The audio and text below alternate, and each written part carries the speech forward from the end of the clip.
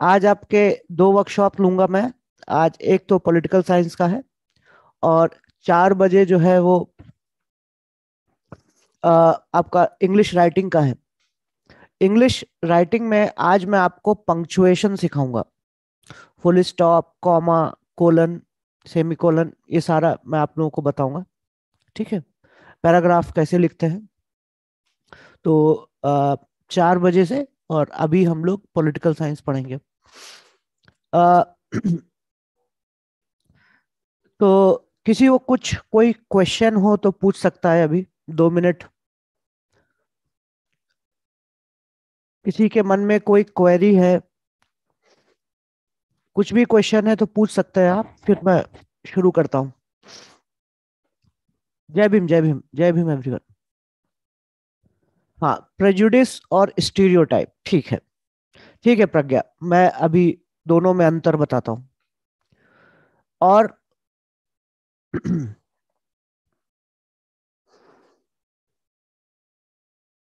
और कोई क्वेश्चन है?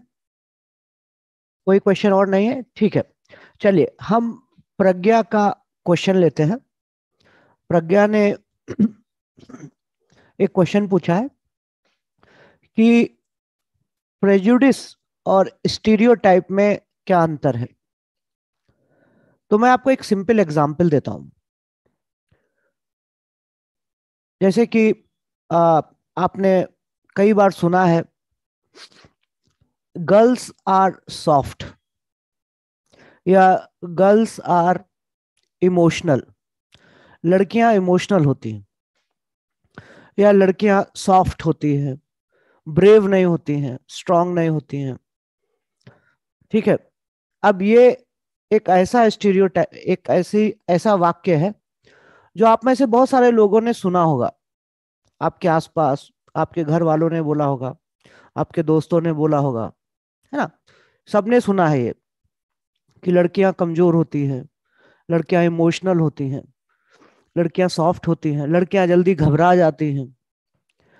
अब ये आप, अब अगर आप लड़कियों की जनसंख्या देखें तो आधी फीमेल पॉपुलेशन है दुनिया की, है ना? तो दुनिया में अगर कुछ 600-700 करोड़ लोग हैं तो उसमें से 300 करोड़ के करीब फीमेल हैं। और हम एक स्टेटमेंट से, एक वाक्य से 300 करोड़ लोगों को जज कर रहे हैं कि सारी लड़कियाँ ऐसी होती है, या सारी औरतें ऐसी होती है, या सारी फीमेल्स ऐसी होती हैं, या सारी विमेन ऐसी होती हैं। ये स्टीरियोटाइप है। स्टीरियोटाइप का मतलब होता है कि आप किसी एक वर्ग के बारे में, एक ग्रुप ऑफ़ पीपल के बारे में एक धारणा बना लेते हैं।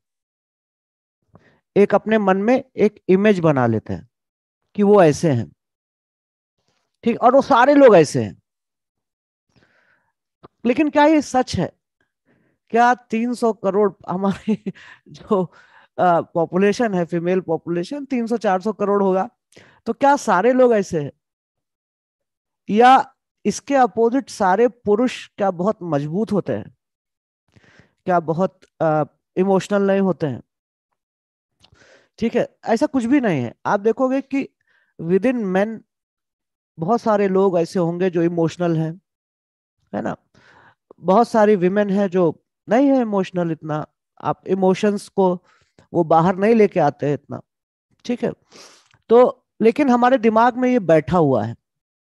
दिस इज़ कॉल्ड स्टीरियोटाइप तो स्टीरियोटाइप का मतलब होता है कि आप कोई भी एक धारणा बना लेते हैं और उसको सच मान लेते हैं कि ये सच है। और वो धारणा बहुत सारे लोगों के बारे में आप बना लेते हैं। है ना? एक कोई विशेष ग्रुप जैसे गाँव के लोग। गाँव के लोग बैकवर्ड होते हैं। गाँव के लोग जो है वो बहुत सिंपल होते हैं बैकवर्ड होते हैं। अगर मैं बहुत ही रूड टर्म्स में बोलूँ तो लोग बोलते हैं कि गाँव के लोग गवार होते हैं।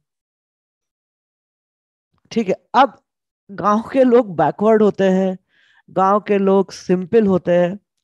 अब इंडिया में कुछ 60-70 परसेंट पॉपुलेशन है जो गाँव में रहती है। क्या सारे लोग ऐसे होंगे? ठीक है, ऐसा नहीं, आपके दिमाग में वो एक इमेज बन गई है। ठीक है? अब ये स्टीरियोटाइप होता है। अब इस स्टीरियोटाइप की वजह से आपके मन में कुछ पॉजिटिव या नेगेटिव विचार आते हैं उनके बारे में। जैसे कि अगर मैं ये बोलूँ कि पहला वाला जो स्टेटमेंट है कि लड़कियाँ इमोशनल होती हैं। तो अब मेरे दिमाग में है कि ये इमोशनल होती हैं, इसका मतलब अब मैं लड़कियों को मानता हूँ कि लड़कियाँ वीक होती हैं फिर। ठीक है? अब इस स्टीरियोटाइप की वजह से मेरे मन में एक प्रेजुडिस पैदा हो गया। प्रेजुडिस मतलब अरे यार, ये लड़कियाँ, ये काम नहीं कर पाएँगी। लड़कियाँ आर्मी में नहीं रह पाएँगी। है ना? लड़कियों को बहुत कठिन काम नहीं दे सकते आप। ठीक है? तो ये अब एक स्टीरियोटाइप की वजह से मेरे मन में लड़कियों के लिए एक नेगेटिव विचार आ गया। ठीक है कि लड़कियाँ वीक होती है। लड़कियों से ये काम नहीं होगा। ठीक है, ये प्रेजुडिस है मेरा। तो एक स्टीरियोटाइप की वजह से मैंने एक स्टीरियोटाइप क्रिएट किया अपने दिमाग में, एक इमेज बनाई और उसकी वजह उस इमेज की वजह से अब उस ग्रुप के लोगों के लिए मेरे मन में नेगेटिव विचार है। ये प्रेजुडिस है। ठीक है?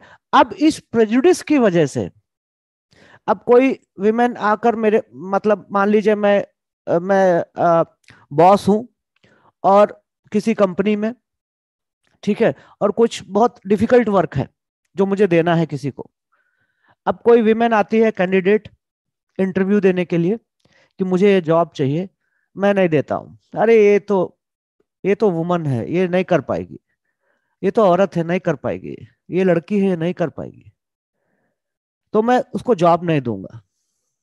भले ही वो बहुत क्वालिफाइड हो ये डिस्क्रिमिनेशन है। तो स्टीरियोटाइप की वजह से प्रेजुडिस पैदा हुआ और प्रेज, उस प्रेजुडिस पर मैंने एक्ट किया। मैंने एक्शन लिया।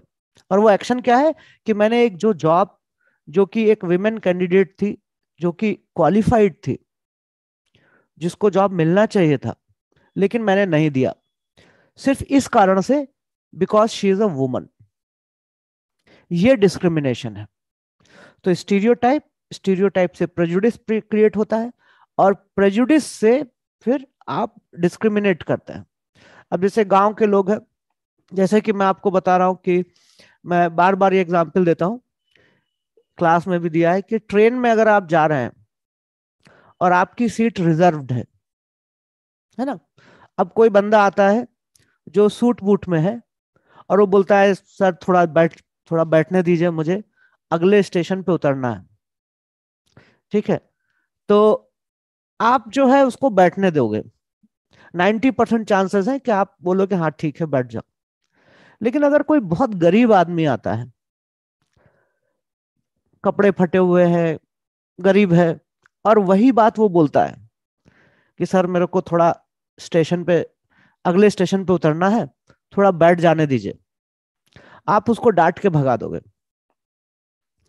ठीक है, दोनों का सिचुएशन एक है, लेकिन आपके दिमाग में एक प्रेजुडिस है कि ये आदमी चोर हो सकता है, ये आदमी बिना टिकट हो सकता है। तो आपके मन में एक, उसका उसका एक अपियरेंस देख के आपके मन में एक हेट पैदा हो गई और आप उसको बैठने नहीं दो। और ये मैंने कई बार देखा है। अपनी आँखों के सामने होते हुए देखा है कई बार देखा है कि आ, अगर कोई आ, गरीब है तो हम उसको अगर अमीर है तो उसको हम ज़्यादा देते हैं उसको हम बहुत सारा मतलब हमको कुछ बुरा नहीं लगता है उसको देने में उसकी हेल्प करने में। लेकिन अगर कोई बहुत पुअर है तो हमारा एटीट्यूड हमारा बिहेवियर चेंज हो जाता है। है ना? तो ये ये ये ये आप आप खुद भी, ये सारी चीज़ें आप खुद भी देख सकते हैं, है ना, कि प्रजुडिस और स्टीरियोटाइप कैसे काम करता है।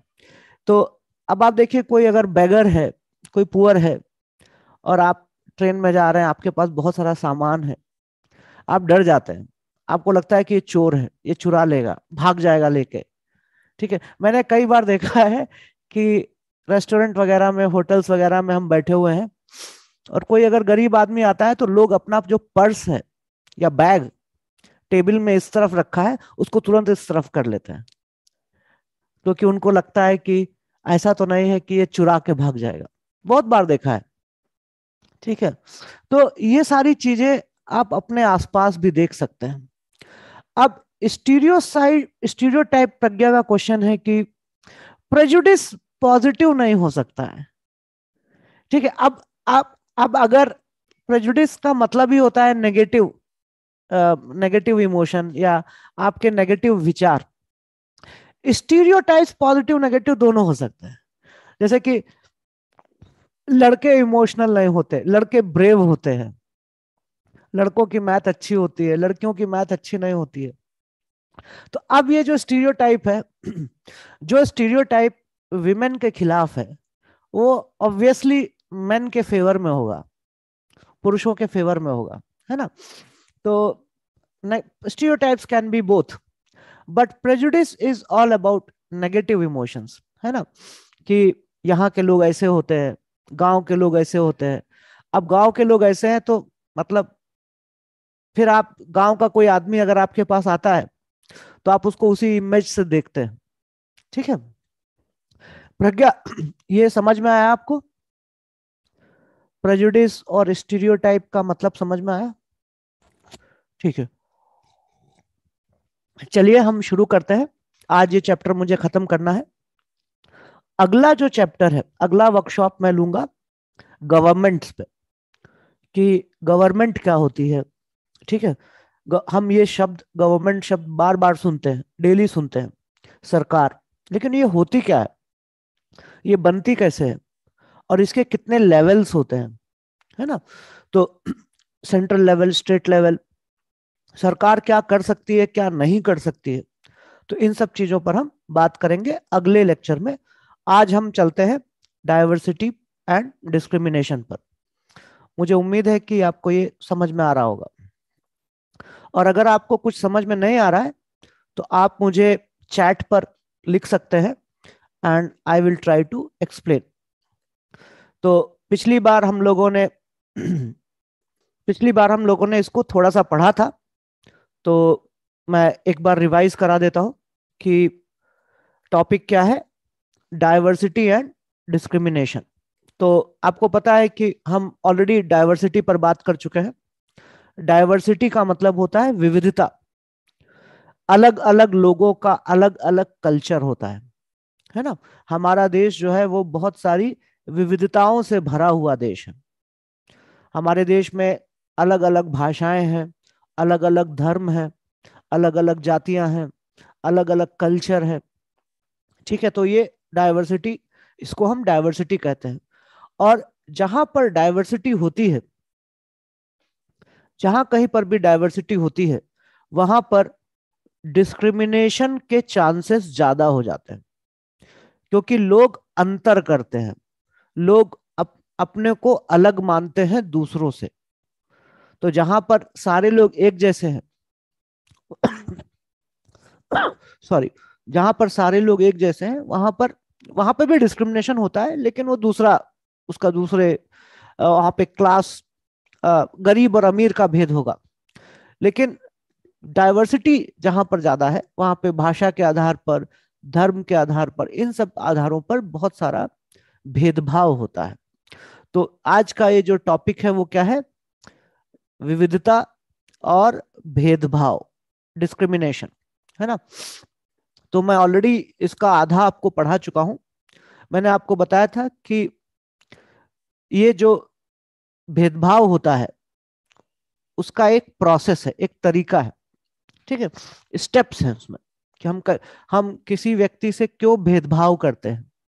है ना? अगर हमारा धर्म अलग है या हमारी जाति अलग है या कोई अलग संप्रदाय से है या अलग क्षेत्र से आता है तो हम कई बार हम उसके साथ भेदभाव करते हैं, है ना? तो वो कैसे आता है? वो कैसे वो भेदभाव कैसे जन्म लेता है?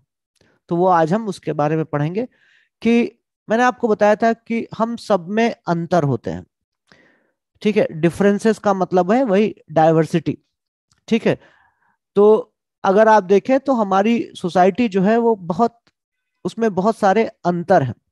हम लोग अलग अलग हैं। उस अंतर की वजह से स्टीरियोटाइप्स क्रिएट होते हैं, है ना? मैंने आपको बताया था स्टीरियोटाइप क्या होता है?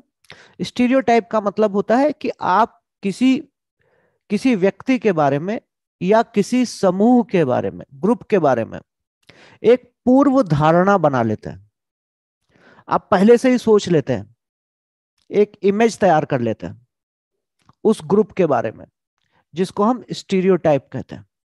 और ये जो धारणा है, ये जो मान्यता है, जो आप दिमाग में बनाते हैं, इसको आप सच मान लेते हैं कि ये सच है। सारे मुस्लिम्स ऐसे होते हैं। सारे क्रिश्चियंस ऐसे होते हैं। यूपी के लोग ऐसे होते हैं। महाराष्ट्र के लोग ऐसे होते हैं। ठीक है, गुजराती ऐसे होते हैं। तो ये आप देखोगे कि अक्सर हम ये सारी चीज़ें यूज़ करते हैं। बात करते समय हम हम खुद भी इन स्टीरियोटाइप्स का सहारा लेते हैं। आप देखोगे, आप अगर अगर अगर आप ऑब्ज़र्व करोगे तो हम और आप बहुत सारी पूर्व धारणाओं से ग्रसित रहते हैं। अब ये जो हम पूर्व धारणा बनाते हैं लोगों के बारे में, इनसे हमारे मन में, उनके लिए प्रेजुडिस क्रिएट हो सकता है।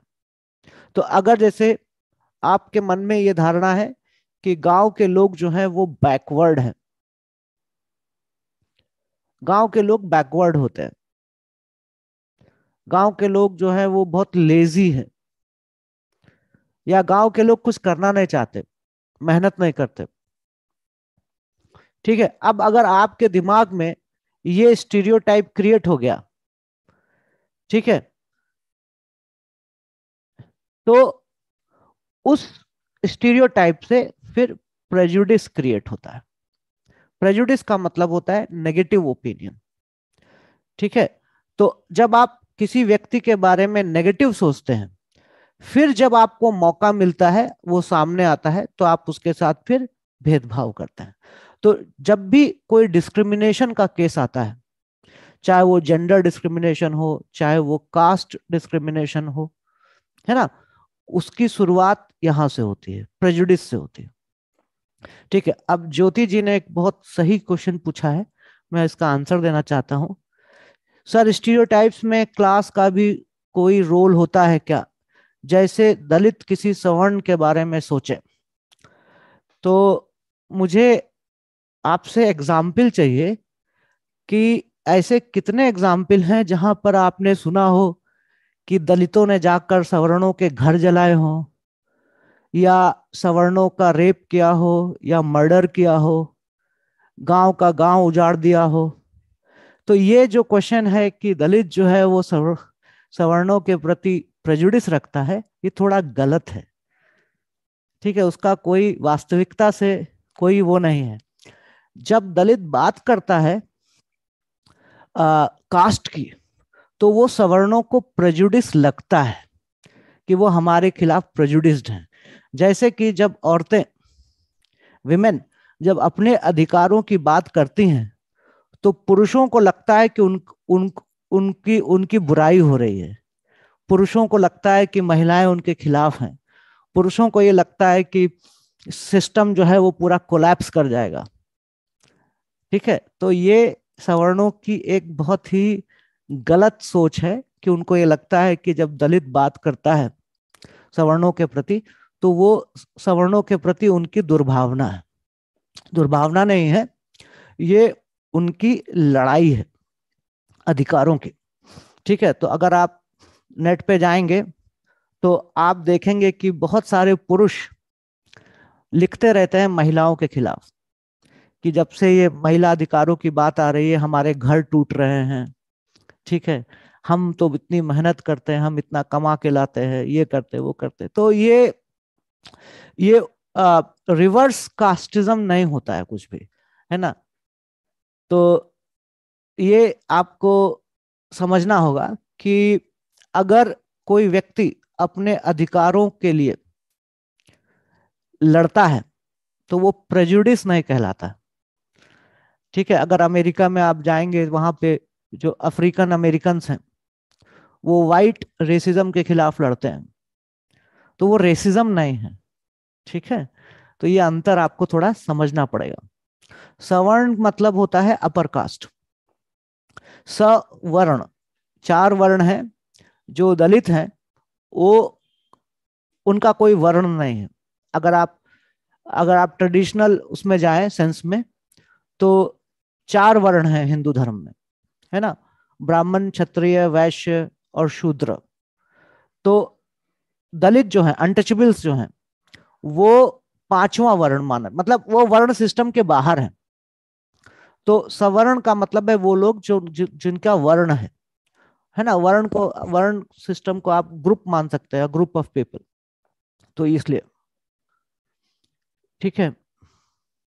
तो ये थोड़ा सा प्रॉब्लम है इसमें कि अधिकारों की लड़ाई अलग होती है और अत्याचार अलग होता है।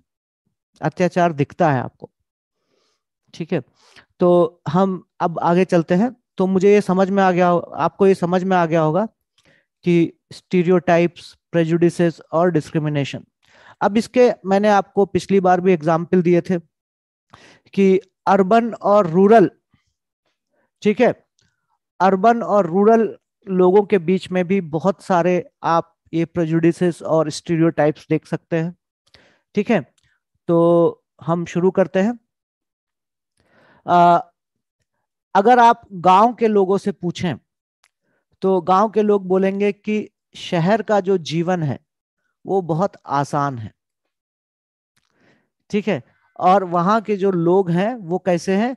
They are spoiled and lazy spoiled का मतलब है कि बर्बाद। तो वो बर्बाद लोग हैं और आलसी हैं। ठीक है? तो ये शहर के लोगों के बारे में एक स्टीरियोटाइप है। और ये स्टीरियोटाइप किसकी तरफ़ से आ रहा है? गाँव के लोगों की तरफ़ से। तो गाँव के लोगों को लगता है कि शहर का जीवन तो बहुत आसान है। सब लोग मज़े करते हैं वहाँ पे, कुछ काम धाम नहीं करते। ठीक है? फिर देखिए एक ये है कि people in cities only care about money not about people तो एक ये बहुत ही पॉपुलर स्टीरियोटाइप है कि शहर के जो लोग हैं, वो सिर्फ़ पैसे के पीछे भागते हैं। People in cities only care about money ठीक है? तो शहर के लोग जो हैं, वो सिर्फ़ पैसे का केयर करते हैं। उनको लोगों की चिंता नहीं है। क्या ये सच है? नहीं, सच है। ठीक है, आपको बहुत सारे ऐसे एग्ज़ाम्पल मिल जाएँगे गाँव में, जहाँ पे भाई भाई का कत्ल कर देता है ज़मीन के लिए। ठीक है, परिवार, एक परिवार दूसरे परिवार को मार देता है प्रॉपर्टी के लिए। ठीक है, शहरों में आपको एग्ज़ाम्पल मिल जाएँगे जहाँ पर बहुत सारे व्यक्ति बहुत अच्छा काम करते हैं। ठीक है तो दोनों टाइप के लोग हैं। आपको गाँव में भी बहुत सारे ऐसे लोग मिल जाएँगे। जो बहुत अच्छे हैं। आपको शहर में भी बहुत सारे लोग ऐसे मिल जाएँगे जो कि बहुत अच्छे हैं। तो ये ये दिस इज़ अ स्टीरियोटाइप ये एक नेगेटिव स्टीरियोटाइप है। ठीक है? अब city people can not be trusted they are cunning and corrupt तो शहर के लोगों पर हम विश्वास नहीं कर सकते, वो धोखेबाज हैं। और वो करप्ट होते हैं और धोखेबाज होते हैं, चालू होते हैं। और ये तो मैंने भी बहुत सुना है। गाँव के लोग बोलते हैं कि शहर के लोग जो है वो बहुत चालू होते ठीक है तो ये एक स्टीरियोटाइप है। अब गाँव के लोगों पर हम क्या सोचते हैं कि people in villages are backward and do not like to use modern agricultural technology तो गाँव के लोग जो हैं वो मॉडर्न नहीं होता, होना चाहते हैं। वो बहुत बैकवर्ड हैं, वो पिछड़े ही रहना चाहते हैं और वो कुछ भी मॉडर्न चीज़ों को लाइक नहीं करते हैं। ये ये जो है वो स्टीरियोटाइप है। ठीक है? फिर एक ये है कि villagers do not care about their health गाँव के लोग अपने हेल्थ पर ध्यान नहीं देते हैं। They are full of superstition ठीक है? They are full of sorry they are full of superstition का मतलब है कि वो अंधविश्वास से ग्रसित है। अब ये भी बहुत पॉपुलर नोशन है कि गाँव में अंधविश्वास ज़्यादा है। मैं बहुत सारी जगह रहा हूँ, बहुत सारी जगह घूमा हूँ पिछले बीस साल में। अंधविश्वास हर जगह है। शहरों के लोग भी बहुत अंधविश्वासी होते हैं। हाँ अंतर क्या है? गाँव के लोग अंधविश्वास में मर जाते हैं, क्योंकि इलाज, जैसे मान लीजिए सांप ने काट लिया या जॉइंडिस हो गया या कोई भी हेल्थ इश्यू आया तो वो झाड़ फूक कराते हैं। अब वो झाड़ फूक इसलिए नहीं कराते कि वो सिर्फ़ अंधविश्वासी हैं। वो झाड़ फूक इसलिए भी कराते क्योंकि हॉस्पिटल नहीं है डॉक्टर्स नहीं है। शहर के लोग भी उतने ही अंधविश्वासी हैं, लेकिन वो झाड़ फूक नहीं कराएँगे क्योंकि शहर में डॉक्टर्स हैं। तो बहुत सारे लोगों का मानना है कि गाँव के लोग जो हैं वो ज़्यादा, बहुत ज़्यादा अंधविश्वासी होते हैं, वो डॉक्टर के पास नहीं जाते हैं, वो झाड़ फूक कराते हैं, है ना? ओझा के पास जाते हैं और वो बलि चढ़ाते हैं, झाड़ फूक करते हैं, ये सब। ठीक है आई अंडरस्टैंड कि वो ज़्यादा होता है, गाँव में वो ज़्यादा होता है, निसंदेह। लेकिन उसके पीछे का कारण दूसरा है। कारण हेल्थ सर्विसेज़ है। ठीक है, अब आपके पास डॉक्टर नहीं है तो आप कहाँ जाओगे? ओझा के पास ही जाओगे ना? झाड़ फूक कराओगे? क्योंकि आपको बचाना है अपने जो भी आपका मेंबर है फैमिली मेंबर तो ये ये भी एक बहुत ही पॉपुलर स्टीरियोटाइप्स है। अब स्टीरियोटाइप होता है और एक होता है फैक्ट फैक्ट में क्या होता है? फैक्ट का मतलब होता है जिसको आप प्रूव कर सकते हैं कि सच है या नहीं है। तो जैसे कि ये वाला जो क्वेश्चन है ये वाला जो स्टेटमेंट है more than 50 percent of all Indians live in village तो 50 परसेंट से ज़्यादा भारतीय गाँव में रहते हैं। अब ये एक स्टेटमेंट है। ये एक स्टीरियोटाइप नहीं है। ये आप चेक कर सकते हैं। इस, ये प्रूव हो सकता है कि ये सही है या गलत है। ठीक है? तो ये फैक्ट है। ये स्टीरियोटाइप नहीं है। ठीक है? फिर आप देखिए in peak harvesting and plantation season families spend 12 to 14 hours working in the fields तो जब एग्रीकल्चरल सीज़न होता है, जब हार्वेस्टिंग एंड प्लांटेशन का सीज़न होता है हार्वेस्टिंग का मतलब है फ़सल काटना, है ना? और प्लांटेशन का मतलब होता है फ़सल लगाना। तो हार्वेस्ट करते हैं मतलब फ़सल की, फ़सल पककर तैयार हो जाती है। और प्लांटेशन का मतलब है जब हम खेती करना शुरू करते हैं, जब बीज बीज डालते हैं। तो ये दो ऐसे सीज़न होते हैं जहाँ पर गाँव के लोग बहुत मेहनत करते हैं। And they spend 12 to 14 hours working in the fields और वो 12 से 14 घंटे काम करते हैं। अब ये फैक्ट है। ये स्टीरियोटाइप नहीं है, क्योंकि ये प्रूव हो सकता है। है ना? आप जाके किसी गाँव में देख सकते हैं। कि ये दो मौसम ऐसे होते हैं हार्वेस्टिंग का समय और प्लांटेशन का समय ऐसा होता है जहाँ पर गाँव के लोग पूरा बिज़ी रहते हैं खेतों में। तो ये फैक्ट है, ये स्टीरियोटाइप नहीं है। ठीक है तो अब ये देखिए इधर living in a city is expensive शहरों में जीना, जीवन जीना बहुत महँगा है एक्सपेंसिव है। A large part of people's earnings is spent on rent and transport तो एक बहुत बड़ा हिस्सा लोगों का एक बहुत बड़ा हिस्सा लोगों की अर्निंग का अर्निंग मतलब सैलरी या उनकी जो कमाई है।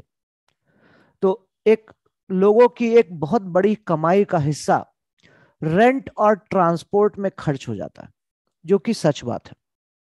तो ये एक फैक्ट है।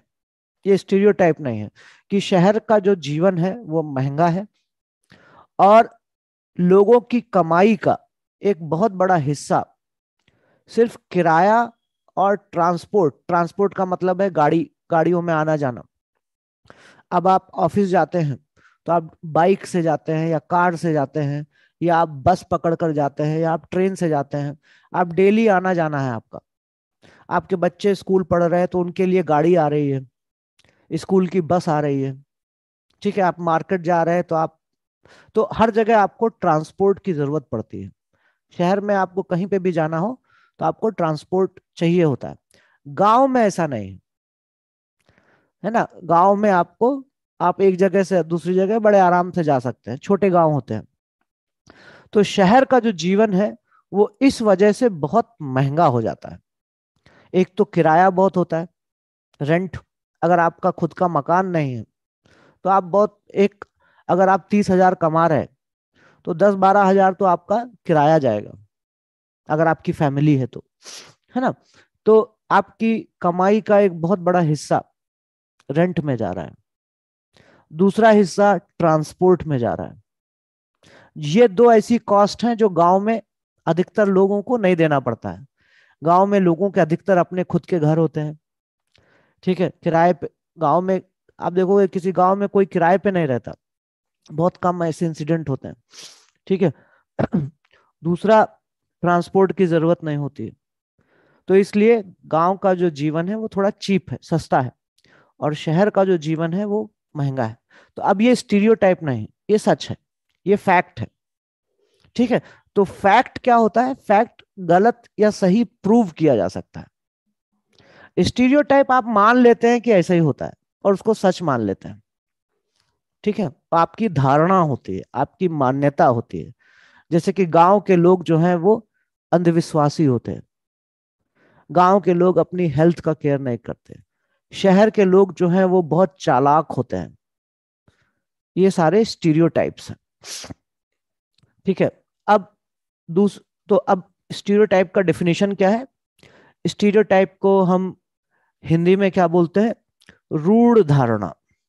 यानी कि आपकी एक ऐसी धारणा धारणा का मतलब होता है आपकी ऐसी सोच, जो कि बहुत हार्ड है, जो एकदम अंदर तक बैठी हुई है आपके। ठीक है, गाँव के लोग ऐसे होते हैं। अब आपने मान लिया वो, आपके अंदर तक वो बैठ गया है, अब आप उसको सच मान लेते हैं। ठीक है, अभी कुछ भी कोई बोले, लेकिन आपको फ़र्क नहीं पड़ता है। आप बोलोगे, नहीं, यही सच है। तो इस रूढ़ धारणा को हम स्टीरियोटाइप कहते हैं।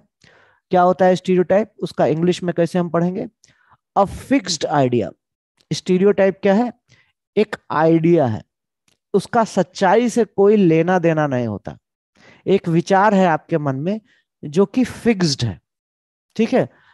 It's a fixed idea about a particular type of a person तो किसी व्यक्ति के बारे में या किसी समूह के बारे में, ग्रुप के बारे में, कोई विशेष व्यक्ति के बारे में या एक कोई ग्रुप के बारे में आपके मन में एक धारणा, एक आइडिया बैठ गया है, जो कि अक्सर सच नहीं होता है which is often not true in reality तो वास्तविकता में ज़रूरी नहीं है कि वो सच हो।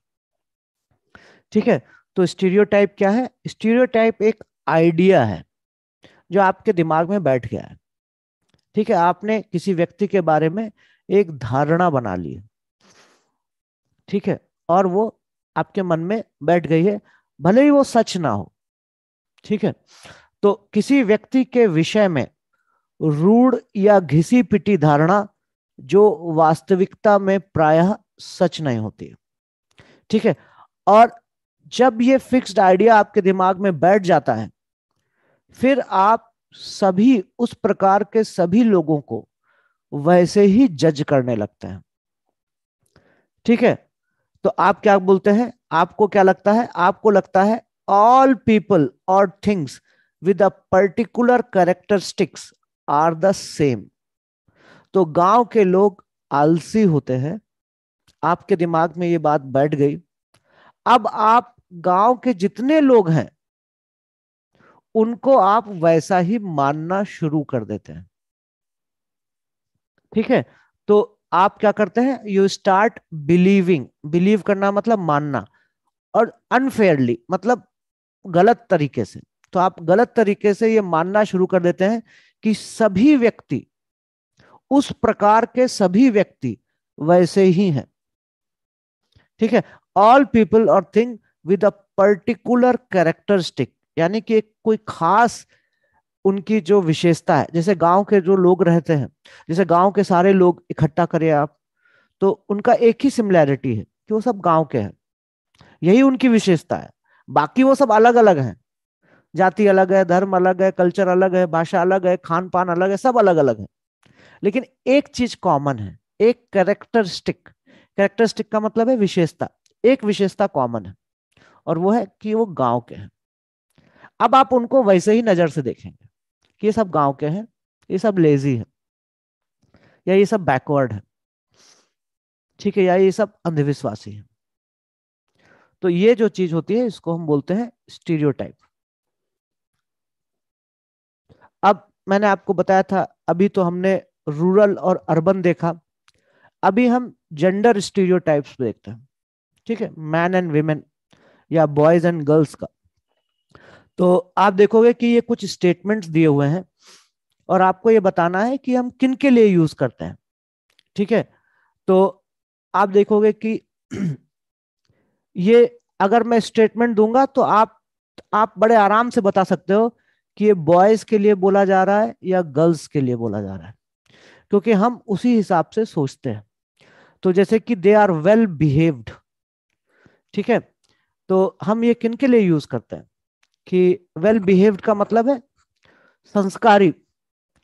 ठीक है, अच्छे अच्छा बिहेवियर वेल बिहेव्ड बदमाशी नहीं करते हैं, है ना? तो दे आर वेल बिहेव्ड तो मतलब अच्छे अच्छे तरीके से बिहेव करते हैं। तो आप देखोगे सब लोगों ने बोला, सुधा, प्रतीक्षा, चंदा, प्रियंका, सबने बोला गर्ल्स के लिए। तो अब ये एक स्टीरियोटाइप है कि सारी लड़कियाँ जो हैं वो वेल बिहेव्ड होती हैं। अब इसका मतलब क्या है? इसका मतलब है कि बॉयज़ वेल बिहेव्ड नहीं होते हैं, या कम होते हैं। तो ये कैसे पता? कोई सर्वे हुआ है क्या? कोई एक्सपेरिमेंट हुआ है क्या? नहीं, हमारे मन में ये धारणा बैठी हुई है कि लड़के जो हैं वो बदमाश होते हैं लड़कियाँ शरीफ होती हैं, है ना? लड़कियाँ वेल बिहेव्ड होती है। तो ये दिमाग में हमारे बैठा हुआ है। फिर दे डोंट क्राई अब ये तो आप सबने सुना होगा कि कि लड़कियाँ रोती हैं और लड़के नहीं रोते हैं। ठीक है? तो दे डोंट क्राई तो अब ये किसके लिए यूज़ होता है? दे डोंट क्राई बॉयज़ के लिए यूज़ होता है। लेकिन क्या ये सच है? Do you think this is true नहीं, बिल्कुल सच नहीं है। दोनों लोग रोते हैं। बहुत सारी लड़कियाँ भी रोने, जल्दी रोती हैं। बहुत सारे लड़के भी जल्दी रोते हैं। बहुत सारी लड़कियाँ नहीं रोती जल्दी। बहुत सारे लड़के नहीं रोते हैं जल्दी। लेकिन हमने ये क्वालिटी ऐड कर दी। हमने ये इमेज इमेज क्रिएट कर दी। कि लड़कियाँ ऐसी होती हैं, लड़कियाँ जल्दी रोती हैं। मैन डोंट क्राई बहुत ही पॉपुलर स्टेटमेंट है कि एक फिल्मी स्टेटमेंट भी है, मर्द को दर्द नहीं होता। शायद किसी मूवी का था, अमिताभ बच्चन की। तो मर्द को दर्द नहीं होता। ठीक है? तो अब तो which is not true actually अब इससे क्या होता है कि बॉयज़ पर भी बहुत प्रेशर आता है कि उनको रोना नहीं है। अगर वो रोने लगते हैं तो उनको कमज़ोर माना जाता है वीक माना जाता है। इसीलिए इसीलिए जब देखोगे जब भी कोई क्राइसिस सिचुएशन होता है तो मैन बिकम वेरी एग्रेसिव लड़ने लगते हैं। बहुत एग्रेशन आ जाता है, बहुत एकदम आक्रामक हो जाते हैं मैन उसके पीछे रीजन यही है, क्योंकि मैन को ये सिखाया गया है कि इमोशंस नहीं दिखाने हैं, आपको आपको कमज़ोरी नहीं दिखानी है अपनी, ठीक है? आपको जो है वो वीकनेस नहीं दिखानी है। आपको अपने इमोशंस वैसे वीक इमोशंस नहीं दिखाने हैं। तो इसीलिए देखोगे कि मैन जनरली कोई भी क्राइसिस सिचुएशन होता है तो एग्रेसिव हो जाते हैं बहुत, ठीक है? तो दे डोंट क्राई अब अगेन ये जो कहता है they are soft spoken and gentle कि जो, अब ये भी गर्ल्स के लिए यूज़ होता है स्टीरियोटाइप कि लड़कियाँ जो है, बहुत सॉफ्ट स्पोकन है। सॉफ्ट स्पोकन का मतलब होता है कि बहुत हार्शली बात नहीं करते हैं, प्यार से बात करती हैं, ठीक है? जेंटल होती हैं। अब ये भी एक स्टीरियोटाइप है। Men and women, girls and boys, both can be gentle and both can be rude, है ना? बहुत सारी लड़कियाँ भी रूड होती हैं। बहुत सारे लड़के जेंटिल हो सकते हैं, ठीक है? तो ये स्टीरियोटाइप है। They are good at dance and painting तो अगर आप देखो कि आपका जो आर्ट्स और आर्ट्स और, ठीक है आदित्य, हम सब रोते हैं, कुछ भी उसमें रोने में कोई भी कमज़ोरी नहीं है। जो लोग रोने को कमज़ोरी समझते हैं, वो गलत सोचते हैं। ठीक है? They are good at dance and painting अब आप देख लीजिए आप आ, आपका कोई भी आर्ट और पेंटिंग का कोई भी क्लास हो रहा हो तो 90 परसेंट लड़कियाँ होंगी वहाँ पे। लड़के 10 परसेंट होंगे। क्यों? क्योंकि लड़कों को ये सिखाया जाता है कि ये सब लड़कियों का काम है। तो अब लड़कियों का काम है तो मेरे मन में अगर है भी पेंटिंग वेंटिंग का तो मैं नहीं करूँगा। है ना?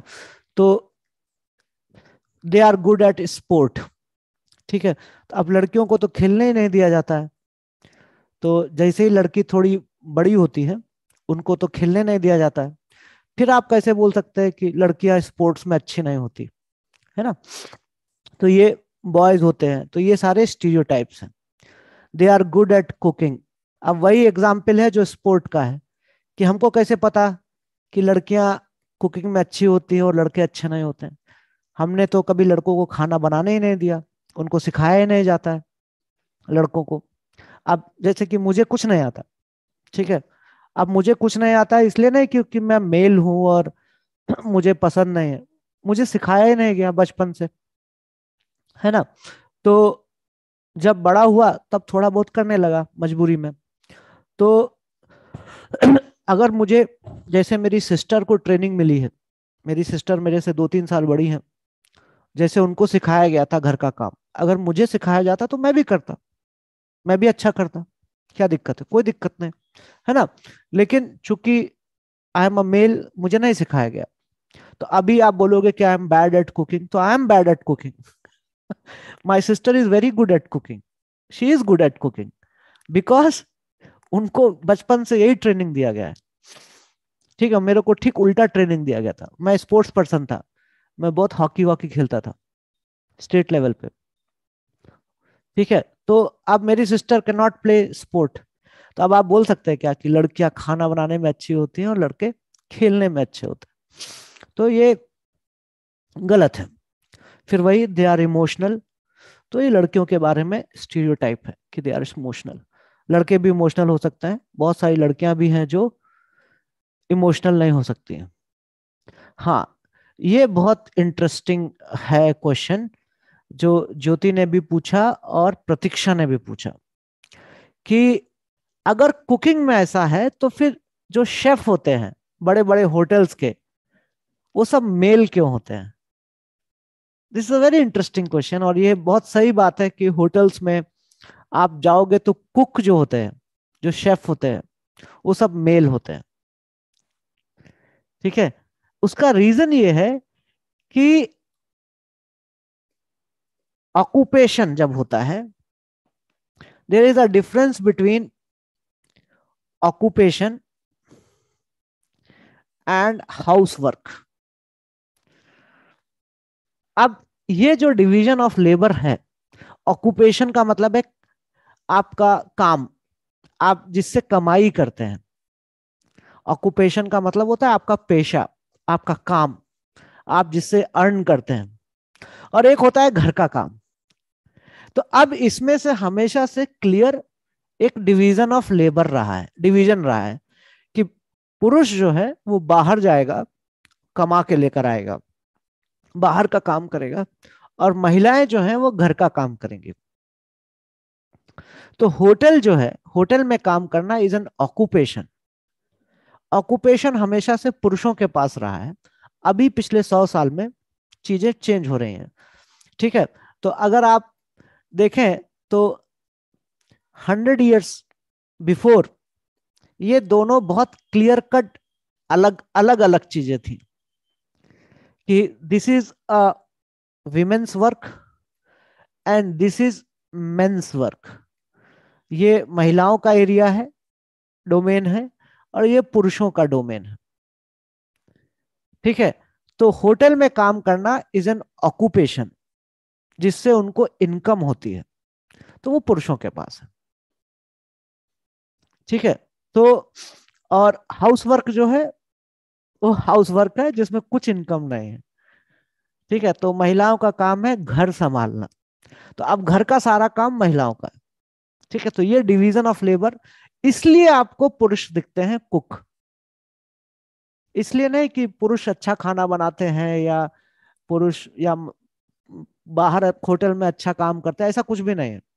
इट इज़ बिकॉज़ ये जो डिवीज़न ऑफ़ लेबर रहा है आने वाले समय में नेक्स्ट फिफ्टी ईयर्स में ये टूट जाएगा। नेक्स्ट फिफ्टी ईयर्स में आपको बहुत सारे फीमेल शेफ दिखेंगे, क्योंकि अभी महिलाएँ घर से बाहर निकलकर ऑक्यूपेशन में आ रही हैं। अब जैसे साइंटिस्ट साइंस लीजिए, अब आप अगर साइंस सौ साल पहले की साइंस पढ़ेंगे तो सिर्फ़ पुरुष ही पुरुष दिखेगा वहाँ पे। न्यूटन, आर्कमिडीज, आइंस्टीन कोई भी, मेल मेल आपको दिखेंगे। Hundred years hundred hundred fifty years before अगर आप साइंस पढ़ेंगे तो आपको सिर्फ़ पुरुष ही नज़र आएगा, हर जगह।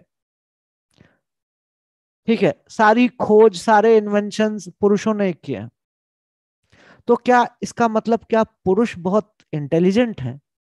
या उनका साइंस में बहुत दिमाग चलता है? अब अगर आप इस सौ साल का अभी का देखें तो आपको बहुत सारे विमेन साइंटिस्ट मिलेंगी जो नोबेल लॉरेट हैं, जिन्होंने नोबेल प्राइज जीता है। दो दो नोबेल जीते हैं मैडम क्यूरी ने, जिन्होंने रेडियम की खोज की थी रेडियो एक्टिविटी पर काम किया था। आज बहुत सारे विमेन साइंटिस्ट हैं जो बहुत टॉप की पोजीशंस में हैं। नासा में हैं, ठीक है बड़ी बड़ी लैब्स में हैं। तो फिर क्या हो गया? सौ साल के अंदर कैसे चेंज आ गया? सौ साल में क्या औरतों को ज़्यादा दिमाग आ गया क्या? ऐसा कुछ भी नहीं है। उनको मौका नहीं था अपॉर्चुनिटी नहीं थी। ठीक है तो अपॉर्चुनिटी अगर मिलती है तो चाहे वो मैन हो या विमेन दोनों एक जैसे होते हैं। दोनों ही समान रूप से इंटेलिजेंट होते हैं, समान रूप से टैलेंटेड होते हैं, कोई भी फ़ील्ड हो। ठीक है तो अब चूँकि विमेन को मौका मिल रहा है एक हाउस वर्क से बाहर निकलने का, ठीक है? तो इसलिए आप देखोगे कि आप विमेन शेफ भी देखोगे विमेन आर्मी में भी है अभी इस समय, ठीक है? विमेन आपको लगभग हर इंडस्ट्री में मिल जाएँगी। आज से सौ साल पहले ऐसा कुछ भी नहीं था। सौ साल पहले महिलाएँ सिर्फ़ नर्सिंग का काम या टीचिंग का काम बस इतना ही कर सकती थी। या किसी की स्टेनो टाइपिस्ट ये काम मिलता था।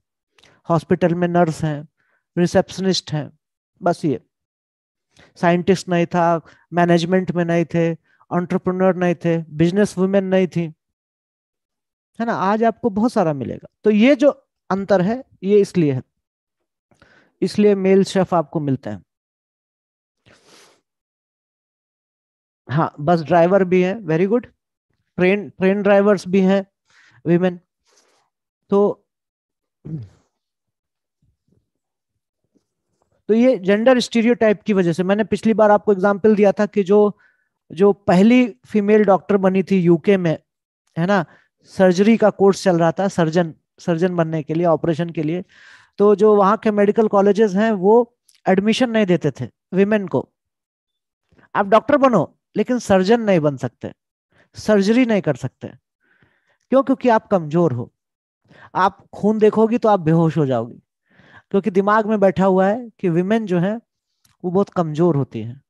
तो जब पहली विमेन जो सर्जन बनी थी, उसका बहुत मज़ाक उड़ाया गया था। उसको बहुत तंग किया गया था क्लास में कि अरे, ये तो जैसे ही बॉडी को देखेगी तो बेहोश हो जाएगी। ठीक है? तो ऐसे बहुत सारे आप किस्से देखेंगे। और 1930s 40s तक तो ये जितनी भी टॉप यूनिवर्सिटीज थी ऑक्सफोर्ड हो, चाहे कोई भी हो विमेन को एडमिशन नहीं देते थे साइंसेज में। आप आर्ट्स करो हिस्ट्री पॉलिटिकल साइंस ये सब करो। साइंस नहीं करो साइंस आपका डोमेन नहीं है है ना? तो बहुत बाद में ये सब ओपन हुआ है। तो ये सब स्टीरियोटाइप्स की वजह से स्टीरियोटाइप स्टीरियोटाइप की वजह से प्रेजुडिस होता है और प्रेजुडिस की वजह से डिस्क्रिमिनेशन होता है। अब देखिए, अगर कोई यूनिवर्सिटी आज से सौ साल पहले ये बोल रही है कि women are unfit for science महिलाएँ जो हैं, वो विज्ञान पढ़ने के लिए सक्षम नहीं है। तो इसलिए हम महिलाओं को एडमिशन नहीं देंगे। ये डिस्क्रिमिनेशन है कि हम एडमिशन नहीं देंगे। एडमिशन क्यों नहीं देंगे? क्योंकि मेरे मन में एक प्रेजुडिस है। प्रेजुडिस क्या है? कि women are unfit for science women जो है, वो साइंसेस के लिए फिट नहीं है। ये प्रेजुडिस है।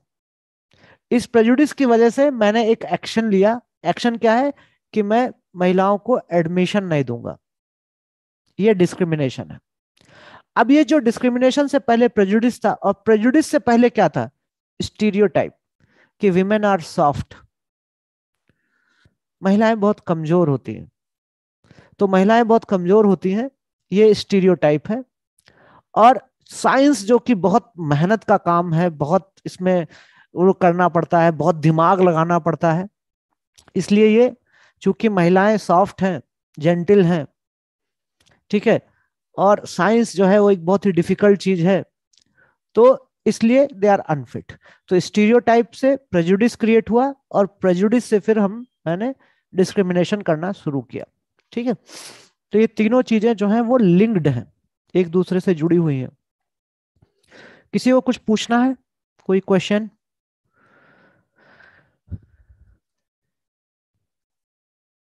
हाँ धारा का क्वेश्चन है कि आ, अगर विमेन बाहर का वर्क करती भी हैं फिर भी उनको घर का वर्क तो करना ही पड़ता है। बिल्कुल सही बात है।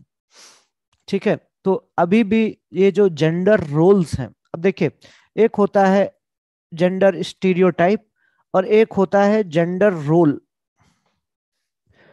जेंडर रोल का मतलब क्या होता है? जैसे कि अगर मैं आप इमेजिन करिए आपके सामने एक फ़ोटो है, एक पुरुष है जो अपने बेबी को बॉटल से दूध पिला रहा है।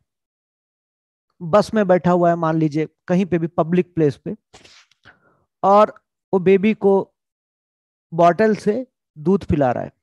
छोटा बेबी है, और उसके पास में उसकी पार्टनर बैठी हुई है, जो कि अखबार पढ़ रही है। ठीक है तो मान लीजिए कोई पब्लिक प्लेस है ट्रेन है या बस है या कहीं पे भी, बहुत सारे लोग हैं, ठीक है? और आप देखेंगे कि एक पुरुष है जो अपने अपने बच्चे को, छोटा बच्चा है, एक साल का, दो साल का, उसको दूध पिला रहा है बॉटल से दूध पिला रहा है। और उसके साथ उसकी वाइफ बैठी हुई है जो किताब पढ़ रही है या अखबार पढ़ रही है। आप बताइए लोगों का रिएक्शन क्या होगा? लोग क्या उसको नॉर्मल मानेंगे? नेचुरल मानेंगे? क्यों नेचुरल नहीं मानेंगे? क्या प्रॉब्लम है? वो भी तो फादर है, उसकी भी ज़िम्मेदारी है। उस लेडी को बुरा कहेंगे, प्रतीक्षा बोल रही है। अब अगर उल्टा होता मदर जो है, वो बच्चे को बैठाकर दूध पिला रही है और फादर अखबार पढ़ रहा है। अब क्या होगा? आपको वो नॉर्मल लगेगा या कुछ उसमें प्रॉब्लम दिखेगी? तो नॉर्मल लगेगा आपको। इसको हम जेंडर रोल बोलते हैं। हमने हमारे दिमाग में बैठा रखा है, माँ का काम ये है, बाप का काम ये है। ठीक है? समझ में आ गया? हाँ एकदम सही। प्रज्ञा समा सोसाइटी ने वैसे डिसाइड करके रखा है कि ये काम गर्ल्स के हैं और ये बॉयज़ के राइट बिल्कुल बिल्कुल। किसी का कोई रिएक्शन नहीं होगा, ठीक है? लोगों के मन में ये धारणा है कि बच्चे की देखभाल जो है वो विमेन की है, बिल्कुल सही। ठीक है? तो ये जेंडर रोल्स होते हैं। अब आपका क्वेश्चन ये था कि महिलाएँ आजकल बाहर काम करती हैं और फिर भी आकर घर का खाना बनाती हैं। बिल्कुल सही बात है। मैंने लगभग हंड्रेड परसेंट केसेस में यही देखा है कि महिलाएँ बाहर जाती हैं काम करने के लिए और जब वो वापस आती हैं तो उनको घर का ही काम करना पड़ता है। क्योंकि अभी भी जेंडर रोल्स जो हैं, वो फिक्स्ड है। ठीक है, अभी भी जेंडर रोल्स फिक्स्ड है। अभी भी उनमें बदलाव आ रहा है थोड़ा थोड़ा आ रहा है। ठीक है गोपाल गोपाल बोल रहा है कि मैं रोज देखता हूँ जेंडर रोल्स पूजा बोल रही है फीमेल लोग ही फीमेल को बहुत ज़्यादा बोलते हैं। हम्म, ठीक है इसके पीछे भी कारण है। सर में जैसा बाहर का काम करता है घर का नहीं तो यहाँ प्रेजुडिस अप्लाई होगा या स्टीरियोटाइप ठीक है देखिए यहाँ पर प्रेजुडिस नहीं है स्टीरियो आप जेंडर रोल्स हैं ठीक है तो वो स्टीरियोटाइप्स हैं। तो आप जेंडर रोल्स जेंडर रोल्स और स्टीरियोटाइप में अंतर है। है ना? जेंडर रोल आपको दिख रहा है कि वो महिलाएँ खाना बना रहे हैं, उनको ही खाना बनाना है। ये जेंडर रोल है। ठीक है? समझ में आ रहा है? जेंडर रोल्स और स्टीरियोटाइप्स अलग अलग हैं। जेंडर रोल का मतलब है कि महिलाओं का ये काम है, पुरुषों का ये काम दैट्स ऑल ज्योति, आपको समझ में आ रहा है? ये ये मैं इसलिए बता रहा हूँ क्योंकि वो जो क्वेश्चन प्रज्ञा ने पूछा था कि बाहर काम करती हैं महिलाएँ और फिर घर में भी काम करना पड़ता है। इसलिए करना पड़ता है क्योंकि वो जेंडर रोल अभी भी ब्रेक नहीं हुए हैं। है ना? अभी भी वो जेंडर रोल्स जो हैं अभी भी बने हुए हैं। मैंने आपको एग्ज़ाम्पल दिया आप वो करके देख लीजिए कभी भी कि अब आप दूसरा सोचिए। लड़की लड़का जो है वो आ, शादी हो चुकी है पुरुष जो है वो घर का काम कर रहा है, मेहमान आए हुए हैं, ठीक है? पुरुष किचन में जाके नाश्ता वास्ता बना रहा है और जो उसकी वाइफ है या पार्टनर है, वो बैठकर गेस्ट रूम में बात कर रही है। वो जो गेस्ट आए हैं ना, वो उनकी हालत खराब हो जाएगी, ये देख के। वो भाग जाएँगे वहाँ से। They will feel so awkward कि पुरुष जो है वो खाना बना रहा है या चाय लेकर आ रहा है। सोचिए जस्ट इमेजिन करिए कि वाइफ जो है वो बैठकर बात कर रही है किसी गेस्ट के साथ और पुरुष जो है वो खाना लेकर आ रहा है या चाय बना के लेकर आ रहा है नाश्ता लेकर आ रहा है फिर वो आके टेबल साफ़ कर रहा है। अब सोच के देखिए कि, कि, कि क्या कैसा रिएक्शन आएगा? प्रतीक्षा कैसी औरत है पति से काम करवाती है? हाँ यही स्टेटमेंट आएगा। कैसी औरत है, पति से काम करवाती है। ये जो स्टेटमेंट है, वो बहुत इंटरेस्टिंग स्टेटमेंट है। तो कि औरत का रिस्पॉन्सिबिलिटी है कि वो काम करे, है ना? हाँ ठीक है। तो आप लोग सब विद्रोह करिए घर में। मेरा नाम मत लीजिएगा बस। कि सर ऐसा बोलते मैं कुछ भी नहीं बोलता। कई बार ऐसा होता है कि क्लास में कुछ बोलता हूँ, फिर बच्चों को लगता है कि क्रांति करनी चाहिए। घर पे जाके वो लड़ाई करते हैं, फिर घर वाले बोलते, तुमको कौन सिखा रहा है ये सब? फिर वो मेरा नाम लेते हैं। फिर घर वाले मेरे को फ़ोन करते हैं कि, सर, आप ये पढ़ाते हैं? पढ़ाते हैं या ये क्या पढ़ाते हैं?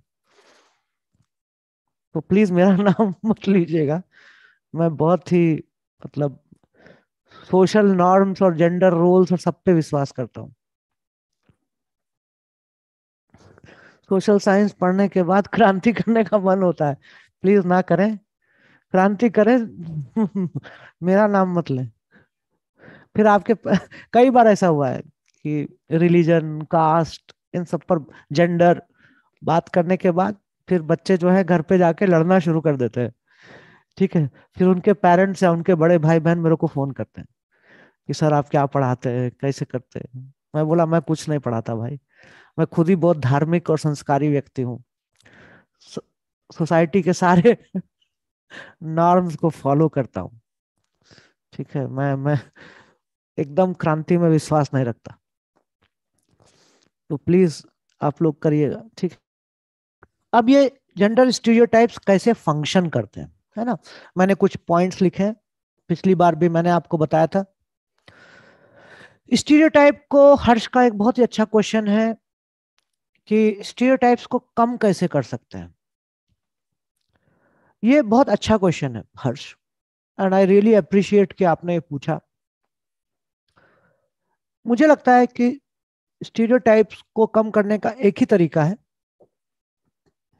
आप ज़्यादा से ज़्यादा अपने से भिन्न प्रकार के लोगों से बात करें।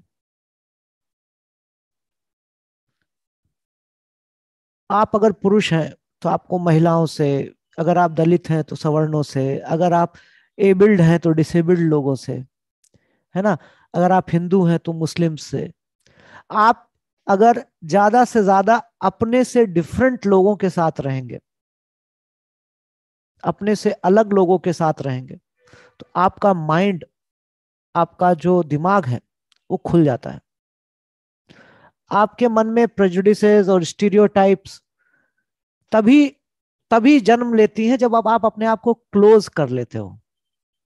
है ना? जब आप आप आप कुछ नया नहीं सीखना चाहते हो। ठीक है? तो जितना ज़्यादा आप बाहर जाओगे जितना ज़्यादा आप अलग अलग प्रकार के लोगों से मिलोगे ओपन होकर आपके मन में प्रेजुडिस उतनी कम होती है। ऐसा मुझे लगता है। अब मुझे नहीं मालूम कि ये हंड्रेड परसेंट सोल्यूशन है इस बात का लेकिन मुझे लगता है कि प्रेजुडिस और स्टीरियोटाइप्स जो हैं, वो आप, जैसे कि अगर आप शहर के हैं तो आप, अगर आपने गाँव नहीं देखा है तो आप वो कुछ नहीं समझेगा। अगर आप गाँव में जाकर आप रेगुलर जाते हैं, बात करते हैं तो आपको बहुत सारी चीज़ें आपके मन में जो पूर्व धारणाएँ हैं, वो टूट सकती हैं। ठीक है? तो चलो, अभी अभी अभी अभी क्वेश्चन बंद, अभी थोड़ा पढ़ते हैं। नहीं तो फिर पूरा समय निकल जाएगा इसी में। ठीक है तो जेंडर स्टीरियोटाइप्स कैसे फ़ंक्शन करते हैं? ठीक है तो कैसे फ़ंक्शन करते हैं कि जब हम ये बोलते हैं this is the way boys are लड़के इसी प्रकार के होते हैं। This is how girls are लड़कियाँ ऐसी होती हैं। ठीक है, लड़के ऐसे होते हैं। तो ये जो जब हम सेंटेंसेस सुनते हैं these are statements we hear constantly and start believing अब ये सारे स्टेटमेंट ऐसे होते हैं जो हम बहुत जल्दी विश्वास कर लेते हैं और हम उनको हमेशा मानते हैं कि लड़कियाँ ऐसी होती हैं, लड़के ऐसे होते हैं। जब हम ये स्टेटमेंट्स पर विश्वास करने लगते हैं, ये जो स्टेटमेंट्स होते हैं, ये जो सेंटेंसेस हैं या जो स्टेटमेंट्स हैं, इन पर जब हम विश्वास करने लगते हैं, तब फिर हम क्या करते हैं? Then we fit all boys and all girls into an image that society creates around तो हमने जो भी इमेज बनाई है लड़कियों की या लड़कों की, फिर हम उसी इमेज में सारी लड़कियों को फिट करते हैं या उसी इमेज में सारे लड़कों को फिट करते हैं। सारे लड़के ऐसे हैं या सारी लड़कियाँ ऐसी हैं। ठीक है? तो हम पहले एक इमेज बनाते हैं। ठीक है, अपने दिमाग में। फिर उस इमेज में हम सभी, उस ग्रुप के सभी लोगों को उसी नज़र से देखना शुरू करते हैं।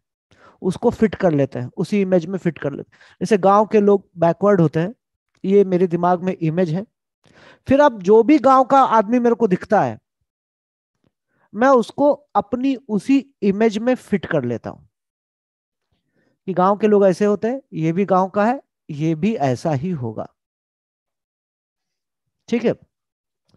तो अब क्वेश्चन ये है कि जेंडर स्टीरियोटाइप का क्वेश्चन ये है कि क्या ये जो क्वालिटीज हैं कि लड़कियाँ वेल बिहेव्ड होती हैं, लड़कियाँ कुकिंग में अच्छा होती हैं, लड़कियों को ड्राइंग और पेंटिंग ज़्यादा पसंद आता है, लड़कियाँ स्पोर्ट्स में अच्छी नहीं होती हैं, लड़के इमोशनल नहीं होते हैं, लड़के रोते नहीं हैं, क्या ये बायोलॉजिकल फैक्ट है?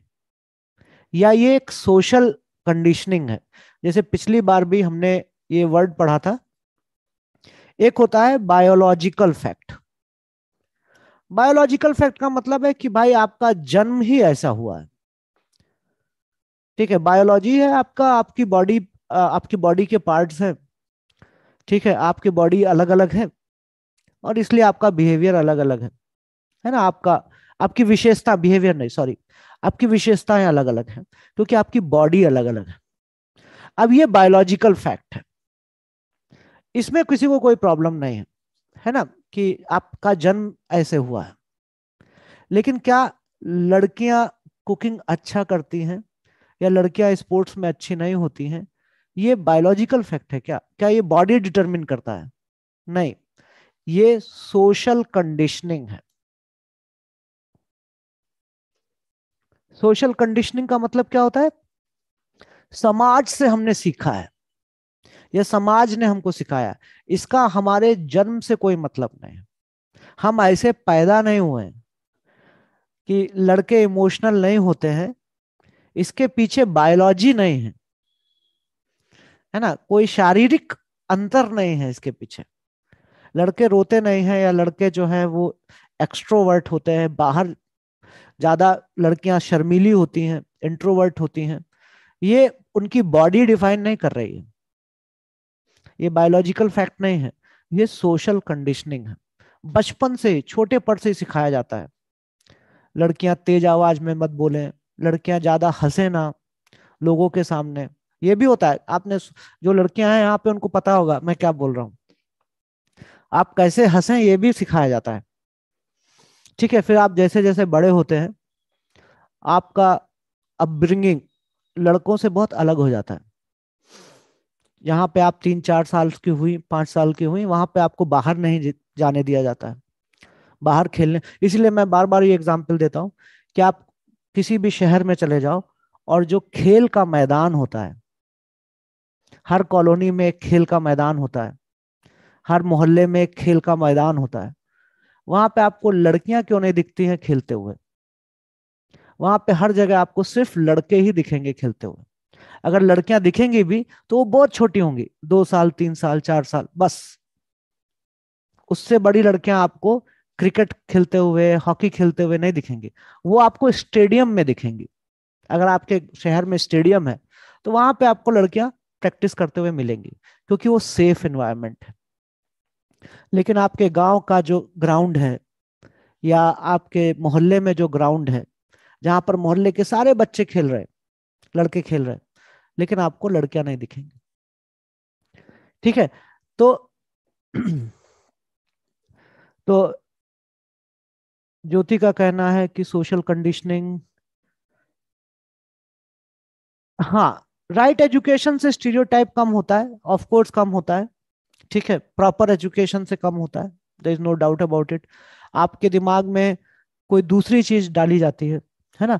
अभी आपका परिवार कुछ और बोल रहा है, किताब में आप कुछ और पढ़ रहे हैं, टीचर आपको कुछ और समझा रहा है तो फिर आप सोचना शुरू करते हैं। तो जब आप सोचना शुरू करते हैं तो बहुत सारे स्टीरियोटाइप टूट सकते हैं। तो ऑफ़ कोर्स एजुकेशन से भी हो सकता है। सोशल कंडीशनिंग बहुत डीप है। ठीक है फीमेल्स में इसे कैसे तोड़े? बहुत लंबी लड़ाई है। आप तोड़ रहे हैं ऑलरेडी आप जितना ज़्यादा पढ़ाई करके आगे जाएँगे, अपने पैरों पे खड़े होंगे, उतने सोशल कंडीशनिंग ब्रेक होंगे। एकदम, एक दिन में तो क्रांति नहीं हो सकती है। दैट इज़ इम्पॉसिबल लेकिन हम और आप जितना ज़्यादा आगे बढ़ते हैं, है ना? जितना ये विचार को लेकर, इन विचारों को लेकर जितना आगे जाते हैं, उतना सोशल कंडीशनिंग जो है वो कम होती है। चलने उठने बैठने कपड़े पहनने सब सिखाया जाता है ज्योति बोल रही है। तो ये सही है। गैस लाइटिंग थोड़ा अलग होता है बेटा। वो गैस लाइटिंग थोड़ा अभी ये ट्विटर वर्ड है। आ, आ, मैं बताऊँगा उसके बारे में। ठीक है? गैस लाइटिंग के बारे में भी बताएँगे। तो ठीक है तो अब क्वेश्चन ये आता है कि जेंडर जो स्टीरियोटाइप्स है कि do boys girls possess these qualities at birth और learn such behaviours from others तो ये जितने भी जेंडर स्टीरियोटाइप्स हमने क्रिएट किए हैं, क्या ये लड़के और लड़कियाँ जन्म से ये क्वालिटीज को हासिल करते हैं? पजेस करना मतलब अपने अपने कब्जे में रखना। कोई चीज़ आपके पास है तो उसको हम बोलते हैं पजेस करना। तो क्या ये लड़के और लड़कियाँ ये जो क्वालिटीज हैं, जो अभी स्टीरियोटाइप दिखा आपको, क्या वो जन्म से अपने पास रखते हैं? क्या जन्म से उनको मिलता है? नहीं। वो सीखते हैं। They learn such behaviours from others हमारा जो बिहेवियर होता है, वो हम अक्सर हम इमिटेट करते हैं, हम नकल करते हैं। आप देखोगे कि आपकी जो सोच है, वो बहुत हद तक आपके माँ बाप की सोच की तरह होती है। दूसरे लोगों के बारे में। आपके माँ बाप जो सोचते हैं आप भी बहुत हद तक वैसे ही सोचते हैं। आप कभी भी देखिएगा आपको लगता है कि आप बहुत मॉडर्न हैं आप बहुत आ, आ, आ, बहुत अलग सोचते हैं ऐसा बहुत कम होता है। हाँ अपनी आज़ादी अपनी स्वतंत्रता के लिए आप लड़ जाएँगे। अब मैं कितने एग्ज़ाम्पल देता हूँ मैं आपको एग्ज़ाम्पल देता हूँ कि मेरे पास एक केस है। बहुत सारे स्टूडेंट्स आते जो सिबलिंग्स हैं भाई बहन हैं, या बहन बहन हैं, या भाई भाई हैं। अब वो आते हैं मेरे पास माँ बाप के साथ। तो जो बड़ा भाई है या बड़ी बहन है, वो अपनी आज़ादी के लिए तो लड़ेगा, या लड़ेगी क्या? मेरे माँ बाप ऐसे हैं, मेरे को इधर नहीं जाने देते, मेरे को उधर नहीं जाने देते। ठीक है? लेकिन जब छोटा भाई बहन वही करता है तो बड़ा भाई बहन ठीक माँ बाप की तरह ही बिहेव करेगा। वो भी उसको रोकेगा, वो भी उसको टोकेगा। बहुत बार ऐसा होगा। आप देखोगे कि जो बड़ा भाई बहन है, अपने लिए जब होता है तो वो लड़ाई करता है। वो रिबेल करेगा घर से। लेकिन जब अपने से छोटे पर बात आएगी तो फिर वो लगभग माँ बाप की तरह ही बिहेव करेगा। तो इसलिए मैं बोलता हूँ कि हमको लगता है कि हम बहुत माँ बाप से अलग सोचते हैं। लेकिन वो सिर्फ़ टाइम का होता है। अक्सर बहुत हद तक हम ये जो, हम जैसा बिहेव करते हैं या जो हमारी सोच होती है, वो हमारी फैमिली से ही आती है है ना? तो बहुत कुछ बहुत सारी चीज़ों में हम माँ बाप से बहुत सेम होते हैं। हमको लगता है कि हम बहुत मॉडर्न हैं और हम बहुत अलग हैं। ठीक है? तो this is this is what I have seen मतलब जितना मैंने देखा है कि सिबलिंग्स में मैंने देखा है कि भाई बहन में ये होता है। भाई अपनी आज़ादी के लिए तो लड़ेगा हाँ मेरे को जाना है, बाहर जाना है, मेरे को बर्थडे पार्टी करनी है, मेरे को दोस्तों के साथ जाना है। अब वही अगर बहन बोलती है कि मेरे को पार्टी में जाना है या जाना तो भाई बिल्कुल फादर की तरह ही बिहेव करेगा। नहीं, तुमको नहीं जाना है। मैं ये नहीं बोल रहा कि सब जगह होता है बहुत सारे एक्सेप्शन है, लेकिन आप देख सकते हो ये चीज़ें। जेनेटिक फैक्ट कुछ नहीं होता है। जेनेटिक फैक्ट मतलब फिर बायोलॉजी में आ गए आप। ये सब बायोलॉजी नहीं है। ठीक है। हाँ प्रज्ञा का क्वेश्चन है कि अगर मैं अपर कास्ट के बारे में कुछ सोच रही हूँ तो ऐसे वैसे हैं तो क्या वो स्टीरियोटाइप है या प्रेजुडिस है? बहुत अच्छा क्वेश्चन है। प्रज्ञा, देखिए दो चीज़ें हैं। अगर हम ये बोले कि सारे अपर कास्ट इविल है, सारे अपर कास्ट ऐसे होते हैं तो वो स्टीरियोटाइप है प्रेजुडिस है। लेकिन अगर मैं ये बोलूँ कि मेरे साथ डिस्क्रिमिनेशन होता है, यहाँ पे अनटचेबल अनटचेबिलिटी प्रैक्टिस होती है, ठीक है तो that is a fact that is not a discrimination ठीक है, जैसे कि महिलाएँ अगर ये बोले कि पुरुषों, पुरुष जो है वो डोमेस्टिक वायलेंस करता है पुरुष जो है वो डोमेस्टिक वायलेंस करता है, हिंसा करता है और महिलाओं का बहुत उत्पीड़न होता है। अब जस्ट इमेजिन अ वुमन एक महिला है जो ये बोल रही है कि पुरुषों ने महिलाओं का बहुत उत्पीड़न किया है। थ्रू आउट हिस्ट्री बहुत शोषण किया है। अब ये प्रेजुडिस है या वो अपने अधिकारों को लेकर बात कर रही है? या एक फैक्ट बता रही है सोशल फैक्ट बता रही है। बताइए, सोचिए आप कि अगर कोई महिला खड़ी होती है, कोई एक्टिविस्ट है विमेन एक्टिविस्ट और वो बोलती है कि थ्रू आउट हिस्ट्री पुरुषों ने महिलाओं पर बहुत हिंसा की है, हमको दबा कर रखा है। तो आप उसको क्या बोलोगे कि ये वो पुरुष से घृणा कर रही है? नहीं। आप ऐसा नहीं बोलोगे।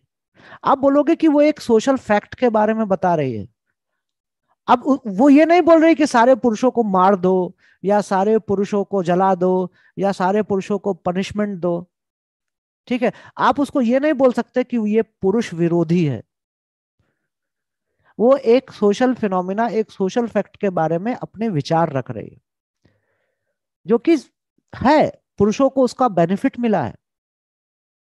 अब कोई भी पुरुष, अब जैसे मैं पुरुष हूँ, मैं बोलूँ कि नहीं नहीं, मेरे को, मैंने तो किसी महिला को तंग नहीं किया। तो मेरी कोई गलती नहीं है। नहीं, मैं ये नहीं बोल सकता, क्योंकि मुझे पुरुष होने का बेनिफिट मिला है। भले ही मैं महिला विरोधी ना हो, भले ही मैंने महिलाओं का कुछ विरोध ना किया हो, लेकिन इस समाज ने पुरुष होने की वजह से मुझे बहुत सारे बेनिफिट है, बहुत सारे अधिकार मुझे मिले हैं। जो महिलाओं को नहीं मिलते हैं। तो अब अगर कोई महिला आके खड़ी होके बोलती है कि तुम पुरुषों ने बहुत अत्याचार किया है तो मैं बोलूँगा, नहीं नहीं, मैंने तो कुछ नहीं किया, मैं तो बड़ा शरीफ आदमी हूँ, मैंने तो कभी कुछ नहीं किया। नहीं, वो वो महिला मुझे नहीं बोल रही है एक्चुअली है ना? एक इंडिविजुअल पुरुष के बारे में बात नहीं हो रही है। ठीक है? और दूसरा, भले ही मैंने एक्सप्लॉयटेशन ना किया हो बींग अ मेल लेकिन मुझे मेल प्रिविलेज है। मैं रात में कहीं पे भी आ जा सकता हूँ। ठीक है? बहुत सारी चीज़ें कर सकता हूँ जो महिलाएँ नहीं कर सकती ठीक है? तो वही कास्ट का है। तो जब अगर मैं कास्ट डिस्क्रिमिनेशन पर बोलता हूँ और मैं बोलता हूँ कि अपर कास्ट जो है वो बहुत डिस्क्रिमिनेटरी रहे हैं। उन्होंने बहुत अत्याचार किए हैं। ठीक है? अनटचेबिलिटी जो है वो बहुत गलत चीज़ है। आज भी बहुत सारे रेप होते हैं मर्डर होते हैं घर जला दिए जाते हैं दलितों के साथ। आप हर दिन न्यूज़पेपर उठा के पढ़िए हर दिन आपको न्यूज़ मिलता है। कभी उल्टी न्यूज़ नहीं मिलती आपको कि दलितों ने आज सवर्णों के घर जला दिए। ठीक है या द, या ये उनका बाइकआउट कर दिया। ठीक है तो आप कभी उल्टी न्यूज़ नहीं सुनेंगे यहाँ पे कि महिलाओं ने चार महिलाओं ने मिलकर पुरुष को मारा डोमेस्टिक वायलेंस किया। होता है। मैं ये नहीं कह रहा कि महिलाएँ पुरुषों को नहीं मार सकती हैं। लेकिन कौन से केसेस मेजॉरिटी में है? कौन से केसेस ज़्यादा हैं? कौन से केसेस ज़्यादा हैं? तो अगर मैं ये बोल रहा हूँ कि ये पुरुषवादी व्यवस्था है है ना?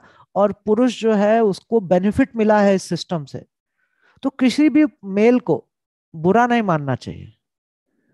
क्योंकि वो इंडिविजुअल उसको नहीं बोला जा रहा है। ठीक है? और दूसरा, पुरुष भले ही अत्याचार ना करे, जैसे कि अगर मैं बोलूँ कि मैंने तो नहीं किया तो इसका मतलब ये नहीं है कि मुझे पुरुष होने का फ़ायदा नहीं मिला है। क्योंकि ये जो सोसाइटी है, वो एक पेट्रियार्कल सोसाइटी है। ठीक है? जहाँ पर मेल को हमेशा प्रिविलेज दिया जाता है। तो मैं चाहूँ या ना चाहूँ, मेरे चाहने ना चाहने से कुछ फ़र्क नहीं पड़ता है। मुझे वो बेनिफिट अपने आप मिलता है बीइंग अ मेल वही कास्ट का है। तो जब मैं कास्ट डिस्क्रिमिनेशन की बात करता हूँ, जब मैं ये बोलता हूँ कि सवर्ण जो है या अपर कास्ट जो है वो कास्टिस्ट होते हैं, उनको अत्याचार है एट्रोसिटीज है तो मैं एक पर्टिकुलर किसी अपर कास्ट को ब्लेम नहीं कर रहा हूँ। ठीक है, मैं एक सोशल फैक्ट एक सोशल फिनोमिना के बारे में बोल रहा हूँ। जो कि हिस्टोरिकली सच है, उसका प्रूफ है। ठीक है? तो और जो अपर कास्ट है, वो भले ही कास्टिस्ट ना हो अपर कास्ट बोलता है ना, मैं तो कास्ट सिस्टम में बिलीव नहीं करता। बहुत अच्छी बात है, आप बिलीव नहीं करते, लेकिन आपको अपर कास्ट होने का फ़ायदा मिलता है, इस सोसाइटी में। आपको प्रिविलेज मिलता है। अब वो पुरुष भी अपनी प्रिविलेज को एक्सेप्ट नहीं करता। अपर कास्ट भी अपनी प्रिविलेज को एक्सेप्ट नहीं करेगा। कि नहीं नहीं, हमको क्या प्रिविलेज है, हमको क्या है ये? लेकिन वो सच नहीं है। ठीक है? तो जैसे महिलाओं को समझ में आता है कि मेल प्रिविलेज क्या होता है, वैसे ही दलितों को समझ में आता है कि अपर कास्ट प्रिविलेज क्या होता है। अपर कास्ट को कभी अपर कास्ट को कभी एक्सेप्ट नहीं करता है। मेल भी कभी अपनी प्रिविलेज को एक्सेप्ट नहीं करते। कि पुरुष होने का कुछ फ़ायदा भी है। ठीक है? तो ये है सब चीज़ें निकेश नायक, ठीक है? सर जी, पटना में दलितों का घर तोड़ दिया, पर कोई एक्शन नहीं हुआ, बिल्कुल खुलेआम करते हैं। हाँ बिल्कुल मतलब बिहार में क्या, हर जगह होता है। है ना? यूपी बिहार, राजस्थान, मध्य प्रदेश, छत्तीसगढ़, बहुत सारी जगहों पे होता है। महिला थप्पड़ मार दे तो गाँव के लोग मीटिंग बैठ बैठाते हैं और पुरुष मारता है तो सब चुप रहते हैं। मैन का वायलेंट करना सोसाइटी में नॉर्मल है। बिल्कुल सही बात। पुरुष अगर अपनी वाइफ को मारता है या अपने बच्चों को मारता है तो वो नॉर्मल माना जाता है। अगर महिला उल्टा थप्पड़ मार दे तो तो, तो क्रांति आ जाएगी। मतलब फिर तो दुनिया हिल जाती है। ना? तो जनरेशनल वेल्थ और कॉलेज नॉलेज होता है अपर कास्ट के पास। नॉलेज तो नहीं बोलूँगा knowledge is a wrong word but of course generational wealth होती है और बहुत सारे प्रिविलेजेस होते हैं। Knowledge is I will not say that they have some generational knowledge कुछ भी नहीं है। नॉलेज का डेफिनेशन बहुत ही ब्रॉड है। ठीक है नॉलेज अगर in the sense of education बोलेंगे फॉर्मल एजुकेशन तो ऑफ़ कोर्स है ना? तो फॉर्मल एजुकेशन के सेंस में हम बोल सकते हैं बट बाकी नॉलेज सबके पास नॉलेज है। जो जूता बनाता है, वो भी नॉलेजेबल पर्सन है। जो खेती करता है उसके पास भी नॉलेज होता है। जो रॉकेट बनाता है, उसका भी नॉलेज है। ठीक है? तो नॉलेज थोड़ा अलग चीज़ है। ठीक है, ये समझ में आया आपको? चलिए। आज आप लोगों ने बहुत सारे क्वेश्चन पूछ डाले मेरे से। गुड गुड अब मैंने आपको बताया था कि शुरुआत होती है अंतर से difference man and women girls and boys biologically different है है ना? उनके बॉडी पार्ट्स अलग अलग हैं, बहुत सारे। तो दैट इज़ द डिफरेंस है ना? उस डिफरेंस से फिर हम स्टीरियोटाइप क्रिएट करते हैं और स्टीरियोटाइप से फिर हम प्रेजुडिस क्रिएट करते हैं, ठीक है? अब ये सब मैं कई बार एग्ज़ाम्पल दे चुका हूँ तो उसमें कुछ ज़्यादा नहीं है कहने के लिए मेरे मन में। प्रेजुडिस का मतलब होता है पूर्वाग्रह आपके दिमाग में नेगेटिव ओपिनियन है। किसी के आप किसी को लेकर आप हेट करते हैं, या किसी को आप नीचा देखते हैं, किसी को आप इंफीरियर मानते हैं, ठीक है? So when our opinion about certain people are always negative तो जब हमारी ओपिनियन ओपिनियन मतलब आपकी जो सोच, आपकी राय, है ना? तो आपकी राय जो है किसी विशेष लोगों के प्रति जब हमेशा नेगेटिव होती है तो वो प्रेजुडिस कहलाता है। ठीक है? तो when our opinions about certain people जब हमारी राय कुछ खास लोगों के लिए, कुछ विशेष लोगों के लिए हमेशा नेगेटिव होती है, हम हमेशा सॉरी हम हम उनके बारे में हमेशा गलत सोचते हैं तो वो हमारी प्रेजुडिस कहलाती है, पूर्वाग्रह कहलाता है। और प्रेजुडिस में हम क्या करते हैं? हम लोगों को जज करते हैं। अब ये वर्ड बार बार मैं यूज़ कर रहा हूँ जज करना। वट डज इट मीन जज करने का मतलब क्या होता है? जज करना मतलब होता है, आपके दिमाग में एक तराजू है। ये चीज़ अच्छी है, ये चीज़ बुरी है। ये बुरा है, ये अच्छा है। इसको हम बोलते हैं जज करना। ठीक है? अब कोई व्यक्ति आकर मेरे से बात करता है, अपनी कहानी सुनाता है कि उसने लाइफ में ऐसा ऐसा ऐसा ऐसा ऐसा, ये ये सारी चीज़ें की। ठीक है? अब मैं बैठकर सुनता हूँ और मेरे मन में हमेशा एक तराजू चल रहा है। अच्छा है, बुरा है अच्छा है, बुरा है अच्छा है, बुरा है। फिर लास्ट में डिसाइड करता हूँ यार ये आदमी तो बहुत बुरा है। ठीक है? तो ये जज करना हुआ है ना? और हम सब करते हैं। वी ऑल हम हर हर मतलब हर व्यक्ति के साथ करते हैं। हम अपने दोस्तों को जज करते हैं हम अपने फैमिली मेंबर्स को जज करते सबको जज करते हैं। आप जज कैसे करते हैं? आ, उनकी बातों से करते हैं उनके कपड़ों से करते हैं उनके बोलने के स्टाइल से करते हैं उनके धर्म से करते हैं उनके जाति से करते हैं लैंग्वेज से करते हैं एक्सेंट से करते हैं। आप कौन सी लैंग्वेज किस प्रकार से बोल रहे हैं, उससे भी हम जज करते हैं लोगों को। ठीक है? तो जब हम जज करते हैं और जब हम नेगेटिवली जज करते हैं कि ये चीज़ बुरी है, ये लोग बुरे हैं तो वो प्रेजुडिस कहलाती है। ठीक है? तो प्रेजुडिस मीन्स टू जज अदर पीपल नेगेटिवली और सी देम एज इंफीरियर अब आप जिसको भी नेगेटिव सोच रहे हो तो इसका मतलब है कि आप उसको अप... ये आदमी बुरा है, ये कब बोलते हो? जब आप अपने आप को अच्छा मानते हो, कि ये आदमी बुरा है मतलब मेरे से बुरा है है ना? तो यानी कि मैं जैसा भी हूँ, मेरे से ये खराब है है ना? तो जज ज, आपको जज करने का आपका तर, आपका तराजू का वो क्या होता है? इंडिकेटर क्या होता है? आपका खुद का बिहेवियर तो आप हर चीज़ को खुद से जज करते हो कि मैं ऐसा हूँ लेकिन ये ऐसा है। ठीक है तो इसलिए ये बुरा है।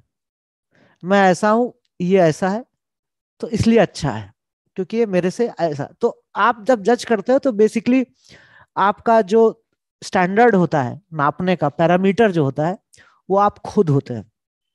तो जिसको आप नेगेटिवली जज करते हो, इसका मतलब आप उसको अपने से हीन मानोगे। आप अपने से उसको इंफीरियर मानते हो। ठीक है तो प्रेजुडिस क्या होता है? एक प्रकार का नेगेटिव ओपिनियन होती है आपकी किसी व्यक्ति के बारे में और आप उसको कम मानते हैं। उसको आप इंफीरियर मानते हैं। आप खुद को आप सुपीरियर मानते हैं। ठीक है? तो ये अगेन बहुत अच्छा क्वेश्चन है कि आदित्य का जब खुद ही अपने बारे में नेगेटिव सोच रखते हैं तो उसको क्या बोलेंगे? उसको बोलेंगे inferiority complex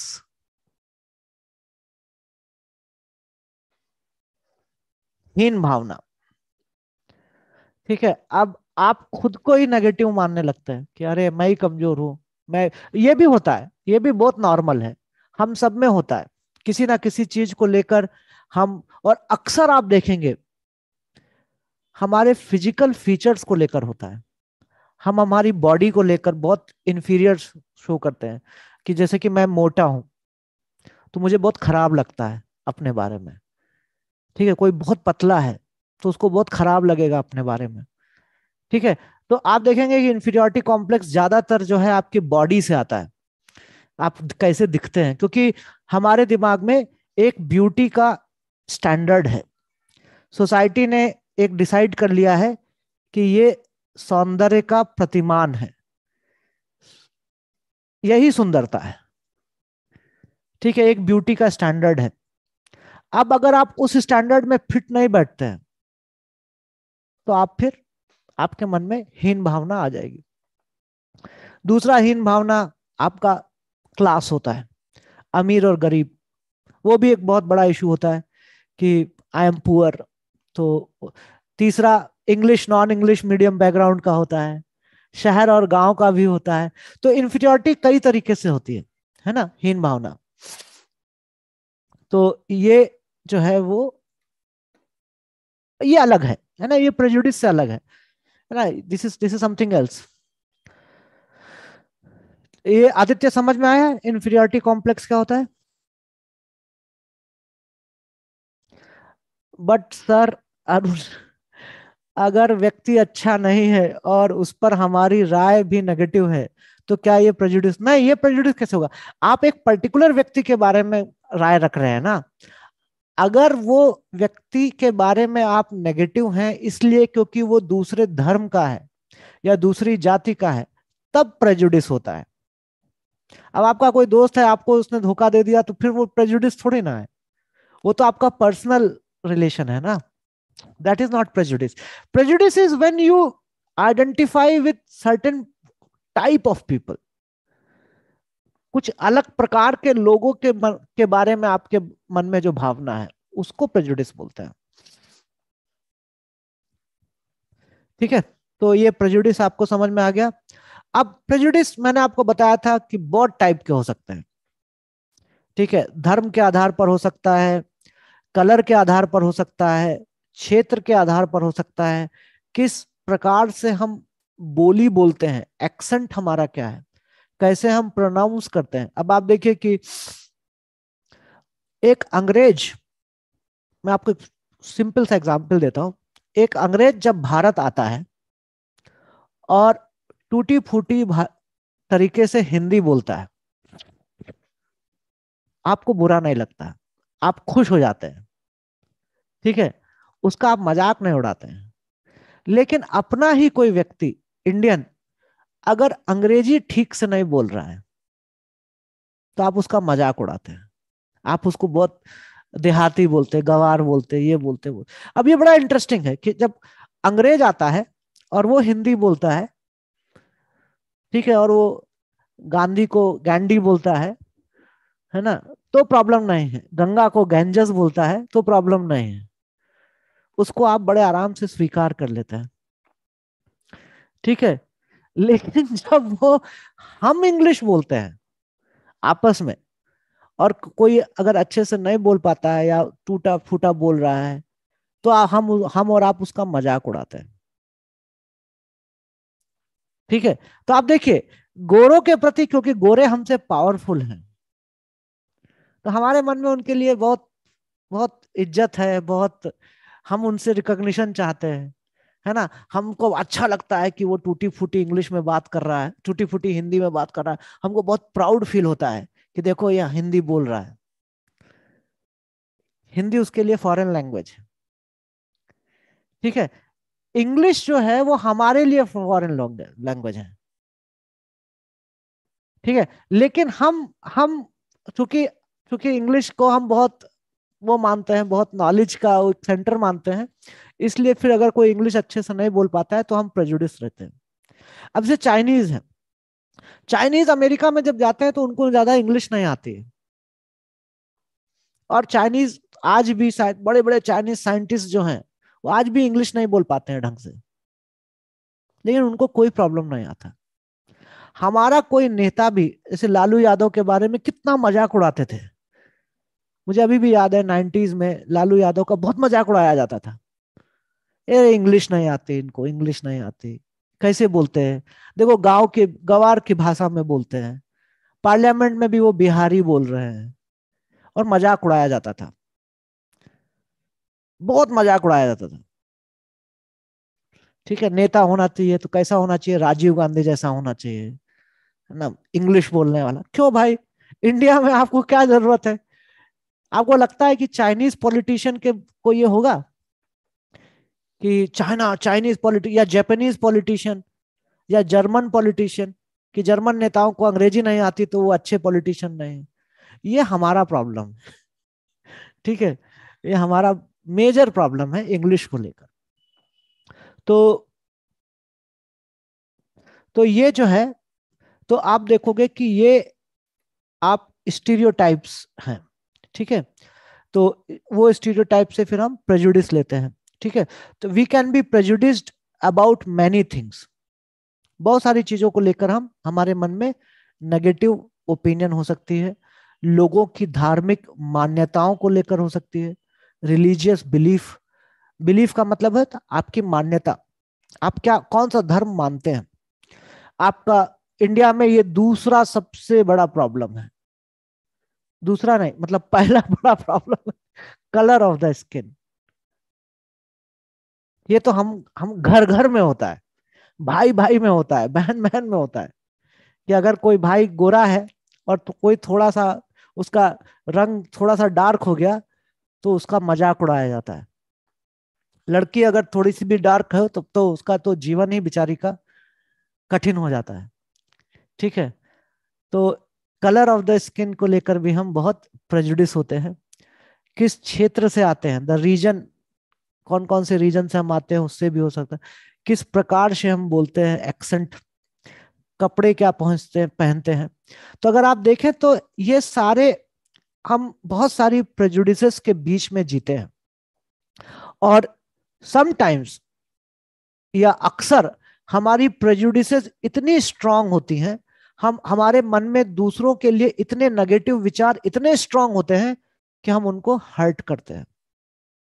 We may even hurt others तो sometimes prejudice are so strong that we may hurt others और वहाँ पर डिस्क्रिमिनेशन शुरू हो जाता है। हर्ट अदर्स मतलब आप भेदभाव करना शुरू कर देते हैं। आपके मन में इतना प्रेजुडिस है, इतनी नफरत है लोगों के, दूसरे के लिए आपके मन में इतने नेगेटिव ओपिनियन है दूसरे के बारे में कि फिर आप भेदभाव करते हैं। भेदभाव करते हैं मतलब उसको हर्ट करते हैं, उसको तंग करते हैं। ठीक है? तो अब अगर आप देखो कि आपने सुना होगा कि राजस्थान में, यूपी में दलित को जो दुल्हा है, शादी हुई, उसको घोड़े पे नहीं चढ़ने देंगे। कि वो घोड़े पे नहीं चढ़ सकता। आप रोज जो है वो न्यूज़ पढ़ोगे कि राजस्थान में, हरियाणा में, ठीक है यूपी में घोड़े पे नहीं जाने देंगे। तो ये क्यों है? क्या वो घोड़े पे बैठ जाएगा तो क्या प्रॉब्लम है? क्यों ऐसा है? आप सोच के देखिए। कि अपने पैसों से जा रहा है वो घोड़ी भी जो लेकर आएगा वो अपने पैसे से लेकर आएगा और उस, उसको कुछ नहीं वो आधा घंटा वो गधे की तरह बैठेगा घोड़े पे ठीक है? तो मुझे समझ में नहीं आता है क्यों घोड़े पे बैठता है लेकिन उसका एक बहुत ही आ, आ, एक रीजन है ठीक है?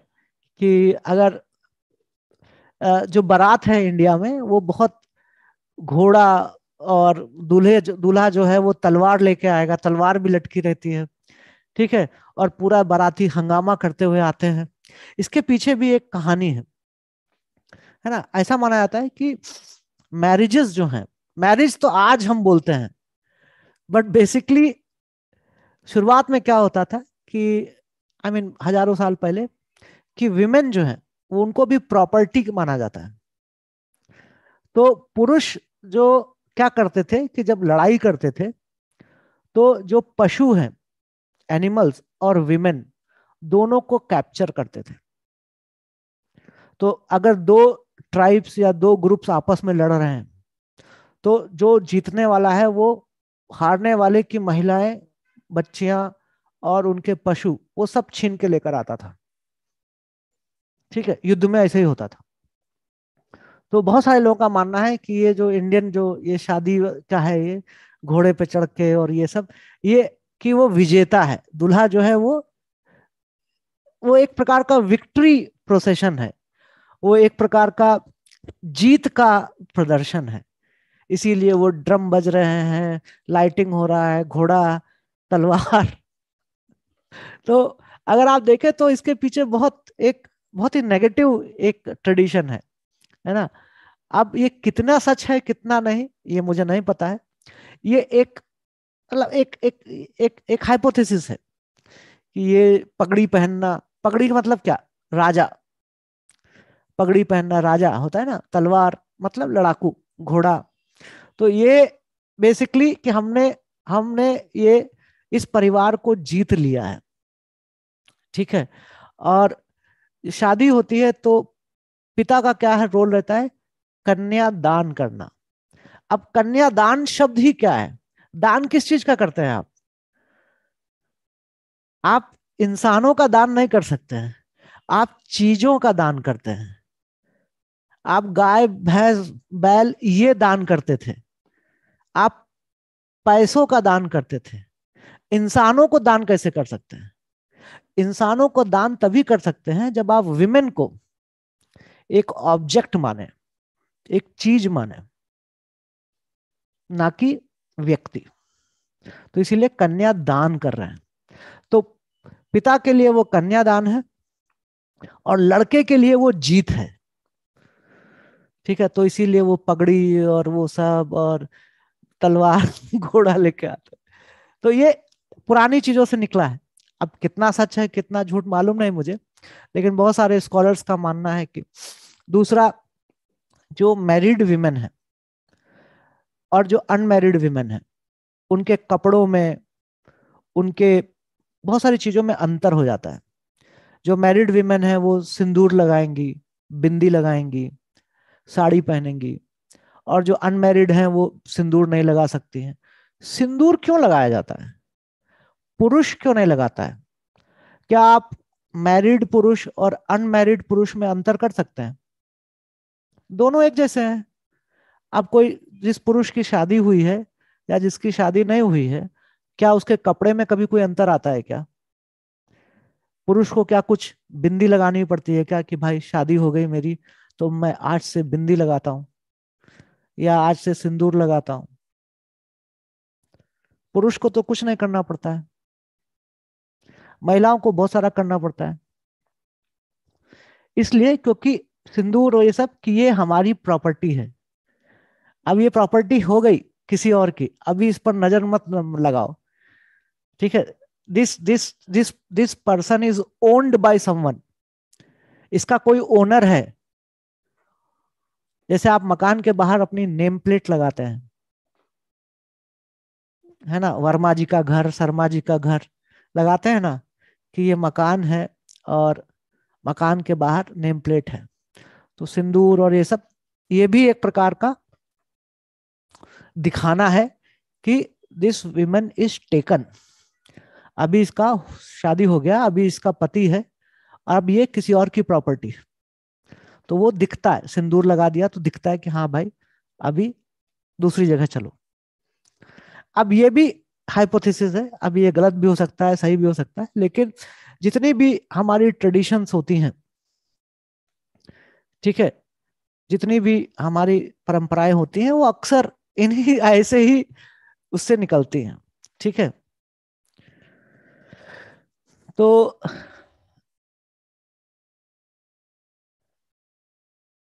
सब जगह था ये ये सिर्फ़ इंडिया में ही नहीं है, ये हर जगह था, किसी ना किसी रूप में। अब जैसे कि नाम में। आप अंग्रेज़ कल्चर में जाते हैं। अब पुरुष चाहे शादीशुदा हो या नहीं हो मिस्टर बोलेंगे। Mister John. अगर मान लो कोई जॉन है जो ब्रिटिश आदमी है। अब जॉन भी मैं एक एक, एक टिपिकल क्रिश्चियन नेम ले रहा हूँ।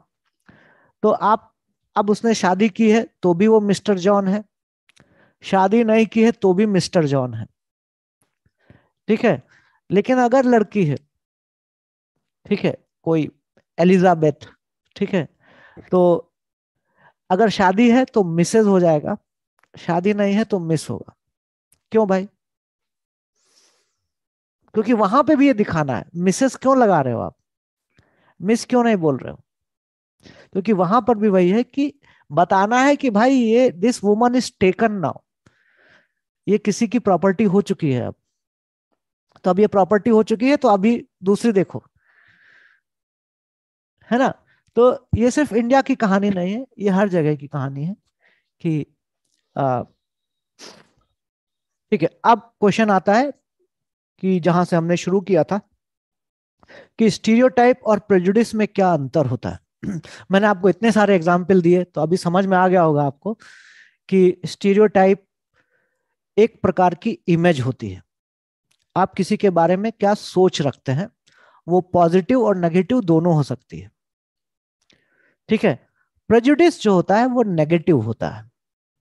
तो अब इसको देखेंगे कि स्टीरियो टाइप क्या है? इज़ जस्ट अ थॉट एक आइडिया है आपके दिमाग में, एक थॉट है अबाउट अ पर्सन और ग्रुप ऑफ़ पीपल ठीक है? अब जैसे कि मैं आपको फिर से सिंपल एग्जांपल दे रहा हूँ कि गाँव के लोग बैकवर्ड होते हैं। ये एक थॉट है। ठीक है? अब ये एक स्टीरियोटाइप है कि गाँव के लोग बैकवर्ड होते हैं और मैं उसको मान लेता हूँ। अब इस मान लेने की वजह से मेरे मन में गाँव के लोगों के प्रति जो नेगेटिव भावना जन्म लेती है, वो प्रेजुडिस होती है। ठीक है? तो स्टीरियोटाइप क्या है कि मैंने एक एक आइडिया अपने दिमाग में डाल लिया कि गाँव के लोग बैकवर्ड होते हैं। ठीक है? अब ये ये एक आइडिया है। लेकिन इस आइडिया की वजह से मेरे अंदर जो फीलिंग्स आ रही हैं गाँव के लोगों के बारे में, ठीक है? मेरे अंदर जो फीलिंग या एटीट्यूड एटीट्यूड का मतलब है मेरा बिहेवियर है ना? मेरा बर्ताव। एटीट्यूड का मतलब होता है मेरा बर्ताव या मेरी जो फीलिंग्स हैं। तो ये एक थॉट है स्टीरियोटाइप कि गाँव के लोग बैकवर्ड होते हैं। अब ये थॉट की वजह से मेरे मन में जो नेगेटिव फीलिंग आ रही है गाँव वालों के प्रति, वो प्रेजुडिस कहलाता है। ठीक है? तो अब प्रेजु स्टीरियोटाइप सिर्फ़ एक विचार है। ठीक है? प्रेजुडिस नेगेटिव फीलिंग है। ठीक है? तो उस व्यक्ति के बारे में या उस ग्रुप ऑफ़ पीपल के बारे में जो मैं सोचना शुरू कर देता हूँ कि गाँव के लोग बैकवर्ड है इसलिए गाँव के लोग ऐसे होते हैं। ठीक है, ये प्रेजुडिस हो जाता है। तो स्टीरियोटाइप क्या है? It is a thought about a person और अ ग्रुप ऑफ़ पीपल ठीक है प्रेजुडिस क्या है? प्रेजुडिस इस थॉट की वजह से जो मेरे मन में जो भावनाएँ जन्म लेती हैं अबाउट दैट पर्सन और ग्रुप ऑफ़ पीपल वो प्रेजुडिस कहलाता है। ठीक है तो रूढ़ धारणा और पूर्वाग्रह, ये दो चीज़ें होती हैं। अब आपको प्रेजुडिस समझ में आया स्टीरियोटाइप समझ में आया। अब मैं फिर से वही एग्ज़ाम्पल रिपीट करता हूँ। मेरे दिमाग में एक स्टेटमेंट है कि गाँव के लोग बैकवर्ड होते हैं। ठीक है, अब जब ये मैं बोल रहा हूँ कि गाँव के लोग बैकवर्ड होते हैं तो ये एक सिंपल स्टेटमेंट नहीं है। इसकी वजह से मेरे दिमाग में कुछ फीलिंग्स डेवलप होते हैं कि यार ये गाँव के लोग बहुत गंदे होते हैं। ये गाँव के लोग ऐसे होते हैं। ठीक है, अब ये प्रेजुडिस हुआ। अब प्रेजुडिस की वजह से जब कोई गाँव का व्यक्ति मेरे पास आता है कि, सर, आपसे ये काम है या ये आप काम कर दो तो मैं उसका काम नहीं करता हूँ। अरे, ये गाँव का है। ये तो ऐसे ही होगा। तो ये डिस्क्रिमिनेशन होता है। तो अब आप देखिए, इसको हम कैसे कर सकते हैं? स्टीरियोटाइप क्या है? आपका थॉट आपकी सोच। ठीक है? फिर इस स्टीरियोटाइप की वजह से आपके मन में एक नेगेटिव फीलिंग आती है। ये प्रेजुडिस है। और उस नेगेटिव फीलिंग की वजह से आप कुछ एक्शन लेते हैं। आप कुछ करते हैं, वो डिस्क्रिमिनेशन कहलाता। अब जैसे कि मान लीजिए मैं बॉस हूँ, मैं एक कंपनी में काम करता हूँ, मेरे सामने एक वैकेंसी है। ठीक है, मुझे वो वैकेंसी फिल करनी है। मेरे पास दो कैंडिडेट आते हैं, एक गाँव का है, एक शहर का है। दोनों ही इक्वली क्वालिफाइड है। ठीक है, लेकिन मेरे मन में गाँव वालों के प्रति एक नेगेटिव फीलिंग है। ये गाँव वाले ठीक नहीं होते। ये गाँव वाला काम नहीं कर पाएगा। इसको आता है, सब कुछ है क्वालिफिकेशन है, लेकिन ये गाँव का है। इससे नहीं होगा। तो अब ये फीलिंग की वजह से मैं उसको रिजेक्ट कर देता हूँ। और मैं उसको, शहर का जो है, उसको वो नौकरी दे देता हूँ। ये भेदभाव है।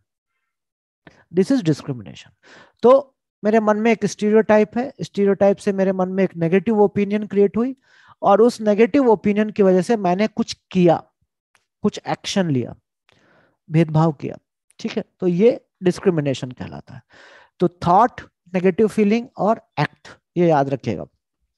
स्टीरियोटाइप सिर्फ़ एक विचार है, जिसको हम सच मान लेते हैं। उस विचार की वजह से हमारे मन में एक नेगेटिव फीलिंग पैदा होती है उस ग्रुप के लोगों से। और उस नेगेटिव फीलिंग की वजह से जब मौका आता है, जब वो ग्रुप कभी सामने आता है या उसके लोग सामने आते हैं तो हम उनसे भेदभाव करते हैं। ठीक है? जैसे कि आप किसी एक धर्म के हैं और आपको रूम किराए पर लेना है। आप किसी दूसरे शहर में गए हैं और आपको किराए पर घर लेना है या रूम लेना है। आप जाते हैं वो आपसे नाम पूछता है कि आपका नाम क्या है। आप बता देते हैं। फिर बोलता है कि मैं आपको नहीं दूँगा। रूम खाली नहीं। रूम भर गया। ऐसा बोलो। ये मेरे साथ कई बार हुआ है। मेरे से पूछते थे, आपका नाम क्या है? तो मैं बोलता था, अनूप कुमार। आगे क्या है? हमने कहा, आगे कुछ नहीं है। ठीक है, सरनेम क्या है? नहीं है। पापा का नाम क्या है? फादर का नाम। ये है, उनका भी सरनेम नहीं अब दो क्वेश्चन दो तीन क्वेश्चन में उनको ये समझ में आ गया कि अपर कास्ट नहीं है। क्योंकि ज़्यादातर अपर कास्ट नॉर्थ इंडिया में उनके सरनेम होते हैं। तिवारी, त्रिपाठी, गुप्ता, श्रीवास्तव तो जो दलित होते हैं, अक्सर उनके सरनेम नहीं होते या कुछ रैंडम सरनेम होगा, है ना, चौधरी, वर्मा, जिससे कुछ क्लियर नहीं होता है कि ये कौन है। तो अब कई बार ऐसा हुआ कि अब वो परेशान हो जाते हैं, क्योंकि उनके दिमाग में एक स्टीरियोटाइप इमेज है कि अगर लोअर कास्ट है तो वो ऐसा होगा। ठीक है, उसको बोलने का तमीज नहीं होगा, वो कपड़े पहनने का तमीज नहीं होगा, उसको इंग्लिश नहीं आती होगी, ये सब बहुत सारे उनके दिमाग में है। तो अब उस स्टीरियोटाइप में मैं फिट नहीं बैठता हूँ। ठीक है, मैं वेल क्वालिफाइड हूँ अच्छा ये है। अब उनको समझ में नहीं आता है कि वो मुझे कहाँ प्लेस करें। अपर कास्ट के रूप में देखें या लोअर कास्ट के रूप में देखें, फिर वो डायरेक्ट क्वेश्चन पूछ लेता है कि आपकी कास्ट क्या है? तो पहले वो बहुत कोशिश करते हैं जज करने का। ऐसा कई कितनी बार हुआ है, बहुत जज करने का कोशिश करते हैं। दिल्ली में खास तौर पे बहुत बार हुआ है मेरे साथ कि, सर, आपका नाम क्या है? हाँ अनूप अनूप कुमार। सर, पूरा नाम क्या है? हाँ यही पूरा नाम है। ऐसा कैसे हो सकता है? हाँ, ऐसा हुआ हुआ ऐसा ही हुआ अच्छा आपके फादर का नाम क्या है? हाँ फादर का ही अच्छा ठीक है। फिर फिर भी वो समझ में उनको समझ में नहीं आ रहा है कि कहाँ प्लेस करें। फिर वो पूछ ही लेते लास्ट में। सर बुरा ना माने तो आप किस कास्ट के हैं? मैं बोल देता हूँ कि मैं शेड्यूल कास्ट हूँ। फिर बोलते सर वो सॉरी सर वो कल ही आए थे उनको मैंने दे दिया। है ना? वो एडवांस देके गए हैं। तो अब अगर अगर वो नहीं आएँगे तो फिर हम आपको बुलाएँगे। ठीक है? तो ऐसा कई बार हुआ। तो ये डिस्क्रिमिनेशन है।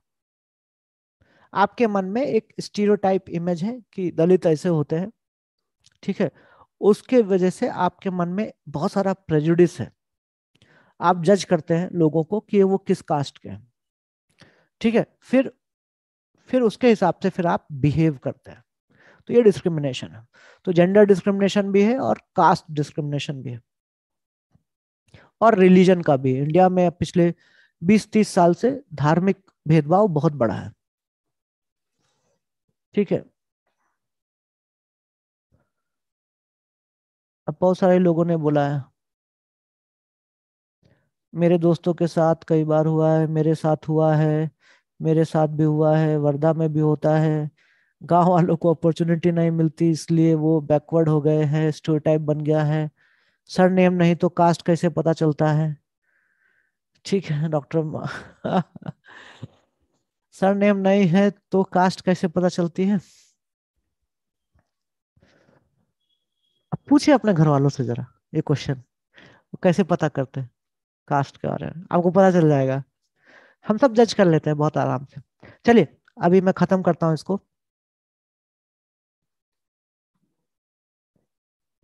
ठीक है डिस्क्रिमिनेशन हैपेंस तो डिस्क्रिमिनेशन कब होता है? डिस्क्रिमिनेशन तब होता है जब हम अपने प्रेजुडिस के हिसाब से एक्शन लेने लगते हैं। Discrimination happens when people act on their prejudice ठीक है तो डिस्क्रिमिनेशन कब होता है? डिस्क्रिमिनेशन तब होता है जब हम अपने नेगेटिव विचारों के हिसाब से काम करना शुरू कर देते हैं। लोगों को, लोगों के साथ भेदभाव करना शुरू कर देते हैं। तो discrimination happens when people act on their prejudices अब डिस्क्रिमिनेशन के दो कारण होते हैं। एक तो डायवर्सिटी की वजह से होता है। आपका धर्म अलग है, जाति अलग है कल्चर अलग है, भाषा अलग है, इसलिए भी भेदभाव होता है। दूसरा कारण असमानता है। अमीर और गरीब। इसके इसकी वजह से भी डिस्क्रिमिनेशन होता है। तो आप देखिए discrimination can take place, discrimination हो सकता है इन दो कारणों से। एक तो है diversity group of people may be discriminated as their customs seen as inferior तो एक पर्टिकुलर मान लीजिए एक कोई शहर है, शहर में कुछ लोग बाहर से आके रह रहे हैं तो बाकी के लोग बोलते अरे यार, ये कैसे लोग हैं? इनका कस्टम बहुत खराब है, इनकी परंपरा बहुत खराब है। तो अक्सर आप देखेंगे कि आपसे जो भिन्न लोग हैं, उनके साथ आप भेदभाव करते हैं। है ना? जो आपके जैसे नहीं है, उनके साथ आप भेदभाव करते हैं। तो एक कारण डाइवर्सिटी भी होता है, दूसरा कारण जो होता है, वो है हाँ ठीक है ज्योति। दूसरा कारण होता है इनइक्वालिटी ठीक है तो एक कारण होता है डाइवर्सिटी दूसरा कारण होता है inequality people who are poor are treated badly अक्सर आप देखेंगे कि अमीर और गरीब का भेद बहुत बड़ा होता है। इवन अपने घरों में आप देखेंगे कि जब आपके घर में कोई बहुत गरीब रिश्तेदार आता है, गाँव का रिश्तेदार आता है, तब उसके साथ अलग बिहेव होता है। और अगर आपके घर में कोई अमीर रिश्तेदार आता है तो आपका बिहेवियर अलग होता है। ये आप खुद देखिए अपने घरों में। खुद के रिश्तेदारों के साथ होता है। मेरे घर में भी होता है। था अब नहीं, क्योंकि अभी तो मेरा कोई घर नहीं है। लेकिन जब मैं अपने घर में रहता था, तब होता था। ठीक है? तो अमीरी और गरीबी भी एक है इनक्वालिटी इनक्वालिटी का मतलब है असमानता और डायवर्सिटी कई ऐसे ग्रुप है जिनका इन दोनों की वजह से होता है। Some people may experience both kind of discrimination ठीक है? तो डिस्क्रिमिनेशन दो तरीके से होता है, दो कारणों से होता है, मुख्यता मेनली एक है डायवर्सिटी और दूसरा है इनइक्वालिटी लेकिन कुछ ग्रुप्स ऐसे भी होते हैं जिनको ये दोनों देखना पड़ता है। ठीक है? Some people may experience both kind of discrimination they are poor and they belong to groups whose culture is not valued जैसे कि मान लेते हैं ट्राइबल ग्रुप है। ठीक है? अब अगर आप सेंट्रल इंडिया में हैं तो आपको समझ में आएगा कि बहुत सारे ट्राइबल्स आपके बीच में रहते हैं। ठीक है? तो ट्राइबल्स को लोग जो है वो अनसिविलाइज मानते हैं कि अरे ये लोग तो बैकवर्ड लोग हैं। क्योंकि हम उनका जो कल्चर है, उसको वैल्यू नहीं करते हैं। वो हमसे डिफरेंट है। हमसे इंफीरियर नहीं है। है ना? उनका कल्चर हमसे अलग है। दैट्स ऑल तो हम उनके कल्चर को वैल्यू नहीं करते हम उनको इंफीरियर मानते हैं। ठीक है? वही ट्राइबल गरीब भी होते हैं पुअर भी होते हैं। तो हम दोनों वजह से उनके साथ डिस्क्रिमिनेशन करते हैं। ठीक है, उनके कल्चर की वजह से भी और उनकी पावर्टी की वजह से भी। तो ऐसे कई से ग्रुप हैं, जिनको दोनों प्रकार से डिस्क्रिमिनेशन झेलना पड़ता है। ठीक है they are poor and they belong to groups whose culture is not valued जिसके कल्चर की वैल्यू नहीं दी जाती है। ठीक है, ये समझ में आ रहा है आपको? अब उसके बाद हम देखेंगे कि एक स्टीरियोटाइप जो कि बहुत पॉपुलर है, आप में से बहुत सारे लोग इस पर विश्वास करते होंगे। ठीक है? कि एक बहुत ही कॉमन स्टीरियोटाइप है मुस्लिम्स को लेकर, कि मुस्लिम्स जो हैं they are not interested in educating girls एक बहुत ही कॉमन स्टीरियोटाइप है है ना? एक बहुत ही कॉमन ऐसी धारणा है जो हम देख, सुनते आए हैं। हम में से बहुत सारे लोग इस पर विश्वास भी करते होंगे कि Muslims are not interested in educating girls ठीक है? लेकिन क्या धर्म कारण है या पावर्टी कारण है? हावेवर अब जैसे कि दलित्स के बारे में भी बोला जाता है ट्राइबल के बारे में भी बोला जाता है कि ये लोग पढ़ते नहीं हैं, ये लोग मेरिट नहीं होता है इनमें। ठीक है? मुस्लिम्स के बारे में भी बोला जाता है कि इनके बच्चे पढ़ते नहीं हैं। ठीक है, अब ये बहुत सारे ग्रुप्स हैं जिनके बारे में ये सारी चीज़ें बोली जाती हैं। तो ऐसा लगता है कि दलित ऐसे ही होते हैं, ट्राइबल ऐसे ही होते हैं, उनके कल्चर में ही कुछ प्रॉब्लम है, मुस्लिम के धर्म में ही कुछ ऐसी प्रॉब्लम है। ये हम मान लेते हैं। ठीक है, मेरिट का जब भी क्वेश्चन आता है तो अरे, दलित लोग जो है मेरिट नहीं होती।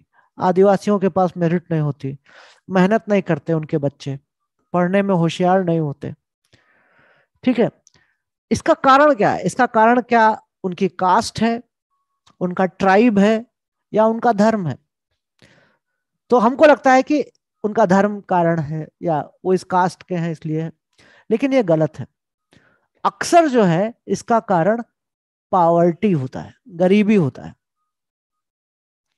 ठीक है? अब आप जितने भी आईएएस टॉपर्स हैं, पिछले पचास साल के, जितने भी आईआईटी के टॉपर्स हैं, पिछले पचास साल के, जितने भी आपके मेडिकल के जो टॉपर्स हैं, सबका लिस्ट बनाते हैं। सबका लिस्ट बनाते हैं। जितने भी बड़े बड़े एग्ज़ाम है, सबका लिस्ट बनाते हैं। ठीक है? टॉपर्स की छोड़िए, पूरा जो सिलेक्शन हुआ है, सबकी पूरी लिस्ट बनाते हैं। या टॉप हंड्रेड की लिस्ट बनाते हैं। कौन है आई का टॉपर कौन होता है आईआईटी का टॉपर क्या वो झारखंड के किसी गाँव का होता है? या छत्तीसगढ़ के किसी जंगल से आया होगा? या तमिलनाडु के किसी पहाड़ी से होगा? नीलगिरी से होगा? या अरुणाचल प्रदेश के किसी गाँव से होगा? या गुजरात और राजस्थान के रेगिस्तान से होगा? नहीं होगा। वो दिल्ली का होगा, बॉम्बे का होगा, लखनऊ का होगा, रायपुर का होगा, पटना का होगा, जयपुर का होगा, वो बड़े शहर का होगा। उसका स्कूलिंग देखते हैं।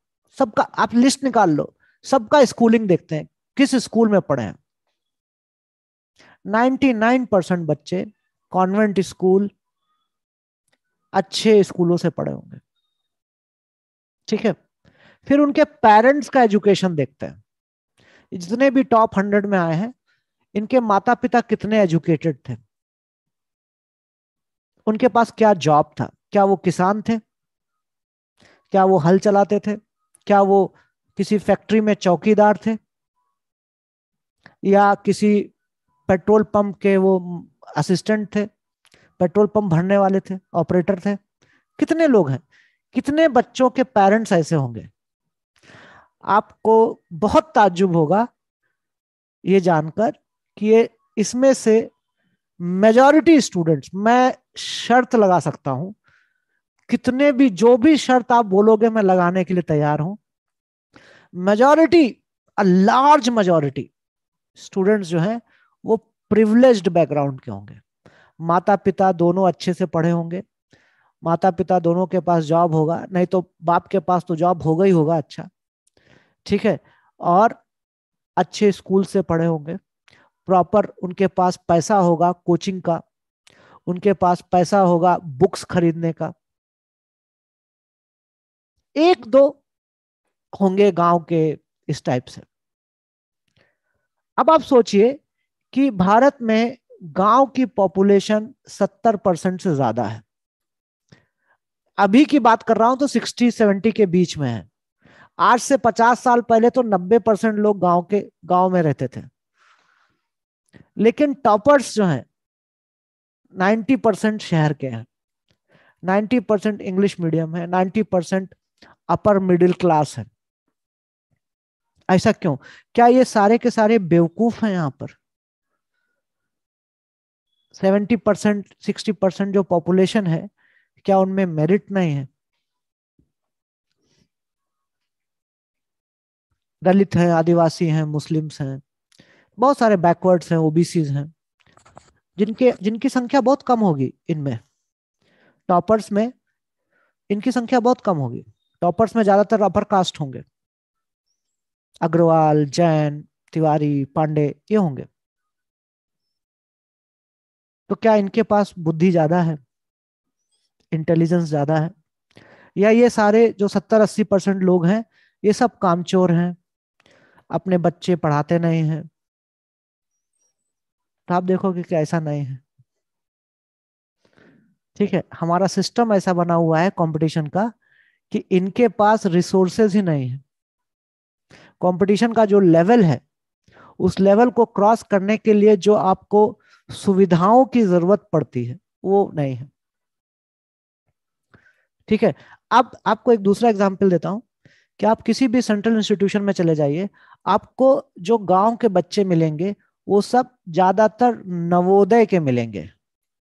मैं जब जेएनयू में पढ़ रहा था तो जेएनयू में जितने भी हिंदी मीडियम बच्चे थे, जो गाँव के थे, वो सब नवोदय से आए हुए थे। यानी कि एक स्कूल जो है अच्छा स्कूल अगर मिलता है तो गाँव के बच्चे भी जेएनयू पहुँच सकते हैं, आईआईटी पहुँच सकते हैं। आप अगर गाँव के बच्चों का रेशियो देखें, आईआईटीज में, कि जो गाँव के बच्चे हैं, आईआईटीज में, एम्स में, वो गाँव के बच्चे कौन हैं? आप देखोगे ज़्यादातर नवोदय के हैं। नवोदय स्कूल्स के मैंने मेरे मैं खुद का एक्सपीरियंस है जेएनयू का, कि ज़्यादातर नवोदय के यानी कि अगर आपने गाँव के बच्चों को अपॉर्चुनिटी दी मौका मिला अच्छे स्कूल का तो वो भी बहुत अच्छा परफॉर्म कर सकते हैं। अब एक शहर में एक ही नवोदय है। हर गाँव में नवोदय होना चाहिए। अगर हर गाँव में या हर बड़े गाँव में नवोदय जैसे स्कूल खुलने लगे तो ये जो टॉपर्स की लिस्ट है, ये उल्टी हो जाएगी। गाँव के टॉपर होंगे अस्सी नब्बे परसेंट और शहर के होंगे पाँच परसेंट, दस परसेंट। इसलिए नहीं कि गाँव के लोग ज़्यादा इंटेलिजेंट होते हैं। गाँव के लोगों का नंबर ज़्यादा है। साठ से सत्तर परसेंट गाँव के लोग हैं। तो आप देखोगे कि मेरिट लिस्ट में भी साठ से सत्तर परसेंट गाँव के लोग आने, आना शुरू हो जाएँगे। अगर उनको वही सुविधाएँ मिलनी जो दूसरों को मिलती है। मेहनत हर कोई करता है। ठीक है? सिर्फ़ मेहनत से नहीं होता है। सुविधाएँ बहुत इंपॉर्टेंट होती हैं। मौके अपॉर्चुनिटीज़ बहुत इंपॉर्टेंट होती हैं, है ना? तो अब ये जो स्टीरियोटाइप है कि मुस्लिम्स जो हैं they are not interested in education ठीक है? तो अभी तो बहुत सारे क्वेश्चन आ गए आपके। Why we can not advance democracy without addressing caste Nikesh Nayak बहुत बड़ा क्वेश्चन पूछ लिया निकेश साहब। Caste is anti democracy caste एक एंटी डेमोक्रेटिक स्ट्रक्चर है। कास्ट को एड्रेस किए बिना आप भारत में लोकतंत्र नहीं ला सकते। ठीक है? और क्या क्या है? Poverty poverty system perfect sir sir मैंने बहुत प्रॉब्लम फेस करके बीए की हूँ। सर पुअर लोग पढ़ना बहुत कुछ प्रॉब्लम फेस करना पड़ता है। हाँ वही मैं कह रहा हूँ। गाँव के लोग भी उतना ही पढ़ना चाहते हैं। उतनी ही मेहनत करते हैं। लेकिन प्रिविलेज नहीं है उनको, उनके पास वो सुविधाएँ नहीं है। यही मेरिट है। Thank you caste privilege social capital yes yes yes yes yes हाँ ठीक है। तो आप में से बहुत सारे लोग एग्री कर रहे हैं। अच्छी बात है। और हर बार की तरह इस बार भी मैंने बहुत धीरे पढ़ाया और ढाई घंटे हो चुके हैं और अभी भी ये चैप्टर खत्म नहीं हुआ है। ठीक है, मुझे आज ये खत्म करना है, कुछ भी हो जाए। आप भाग भी जाए तो भी मैं अकेले पढ़ाता रहूँगा। दो लेक्चर, मेरे को एक लेक्चर में खत्म करना था और दो लेक्चर दूसरा लेक्चर भी नहीं खत्म कर पा रहा हूँ। सब आप लोगों की वजह से। आप लोग हमको, आप इतना बातें करते हैं। खाना खाते पढ़ रहे पढ़ रहे। खाना खा के आप लोग अच्छा है, कम से कम खाना खाते मैं तो सुबह ब्रेकफास्ट भी नहीं किया हूँ। डिस्क्रिमिनेशन है टीचर के साथ। बच्चे मज़े कर रहे हैं और टीचर जो है बेचारा भूखा पढ़ा रहा है। पाप लगेगा पाप लगेगा आप लोगों को। भगवान सब देखता है ऊपर से।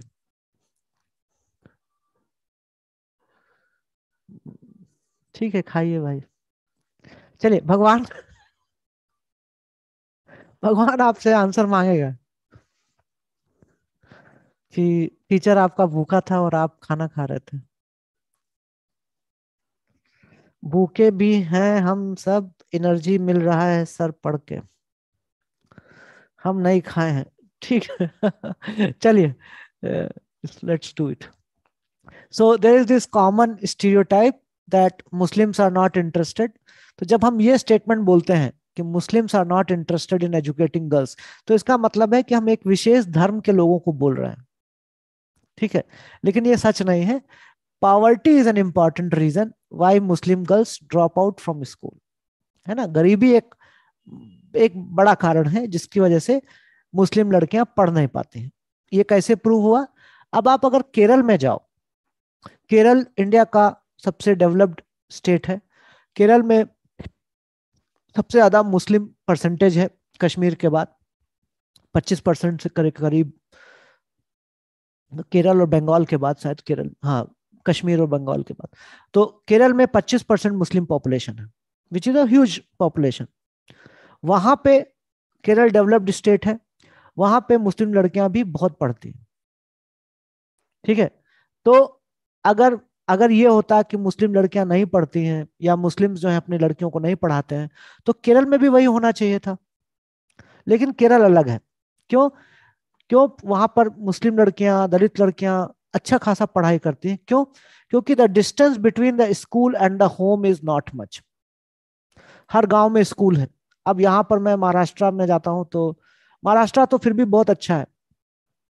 तो अक्सर आप देखोगे गाँव में क्लास फोर्थ तक स्कूल है। क्लास सिक्स तक है। उसके बाद दस किलोमीटर दूर है स्कूल बीस किलोमीटर दूर स्कूल है। तो बहुत सारी बच्चियों स्कूल छोड़ देती हैं। तो केरल में क्या है? The distance between the school and the home is not much तो वहाँ पर स्कूल स्कूलों की संख्या ज़्यादा है है ना? हर गाँव में स्कूल है।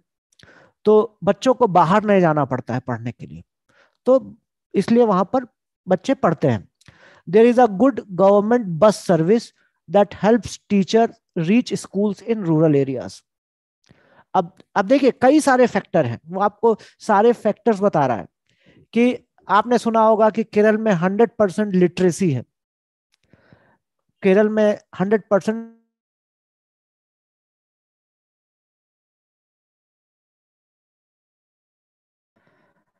तो अब जैसे मैंने बताया कि देर इज़ दिस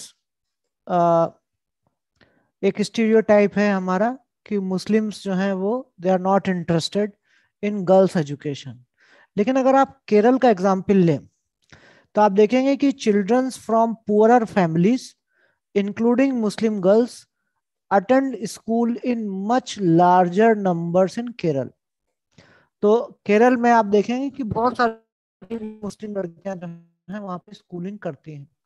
और मुस्लिम्स का काफ़ी अच्छा पॉपुलेशन है, कुछ 24-25 परसेंट है शायद केरल में।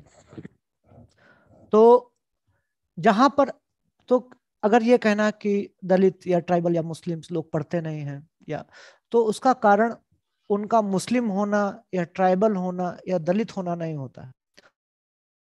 उसका कारण यह है कि उनके पास अपॉर्चुनिटीज़ नहीं है, वो फैसिलिटीज़ नहीं होती। जहाँ जहाँ पर फैसिलिटीज़ है, वहाँ वहाँ पर वो कर सकते हैं। ठीक है?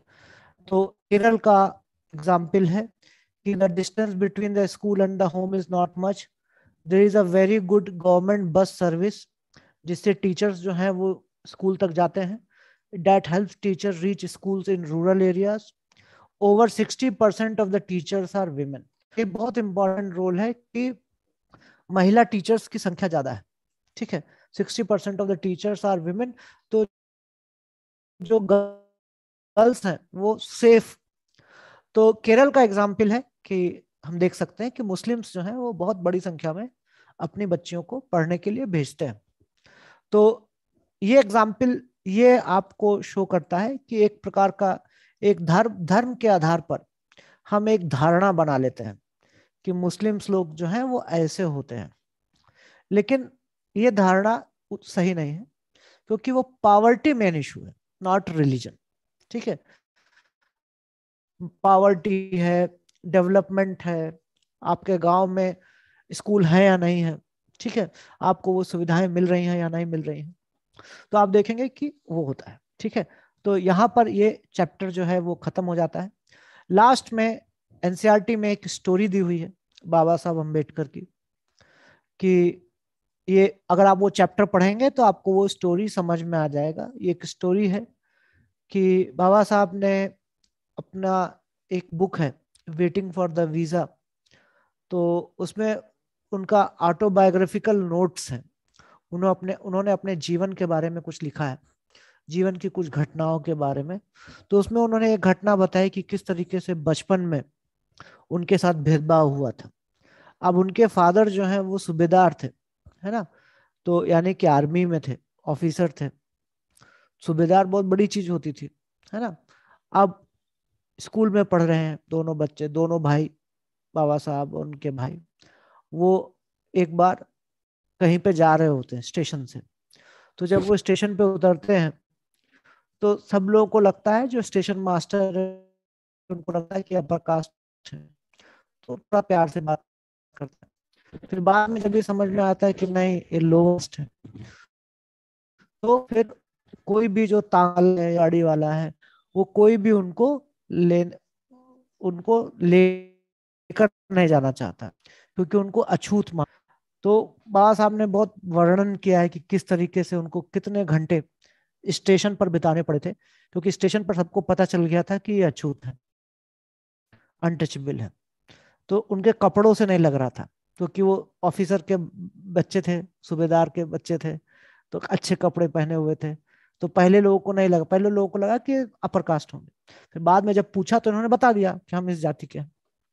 तो फिर ये जितने भी बैलगाड़ी वाले हैं, ये सब जो हैं, वो सबने मना कर दिया कि हम आपको नहीं बैठाएँगे। अछूत हो। तो वही स्टोरी का ये फ़ोटो है। ठीक है? ये देखिए लगेज है। ठीक है? ये बैलगाड़ी है। एक एक एक आर्टिस्ट का इम्प्रेशन है।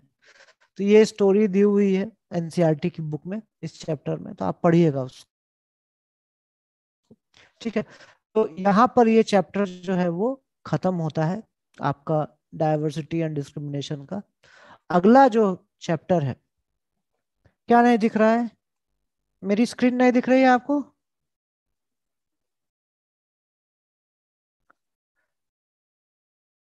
हाँ ये नोट्स में अपलोड करने हूँ।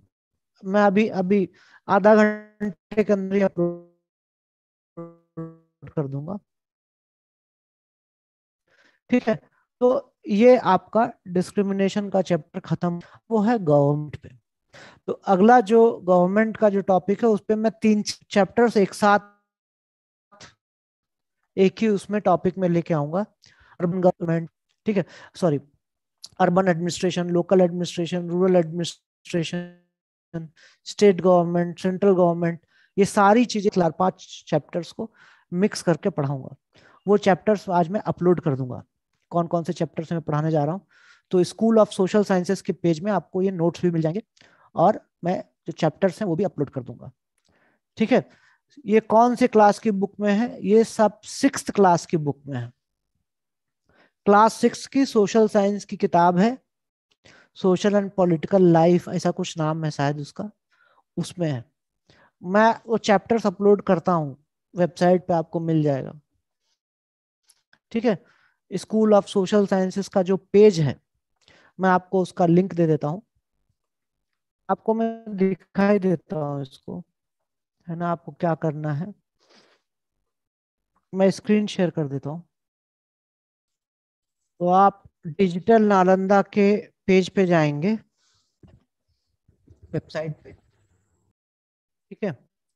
आप आप ये डिजिटल नालंदा की वेबसाइट पे गए तो आप स्कूल्स में आप देखेंगे स्कूल ऑफ़ सोशल साइंसेज है।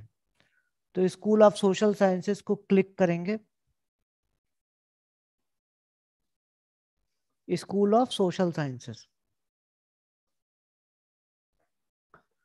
अब ये मैं मोबाइल का हॉटस्पॉट यूज़ कर रहा हूँ, क्योंकि इंटरनेट डाउन है तो इसलिए थोड़ा स्लो है। ठीक है स्कूल ऑफ़ सोशल साइंसेस में। नेट बहुत ही स्लो है। ठीक है, आप इसमें देख लीजिएगा। स्कूल ऑफ़ सोशल साइंसेज में आपको मिलेगा, ये यहाँ पर।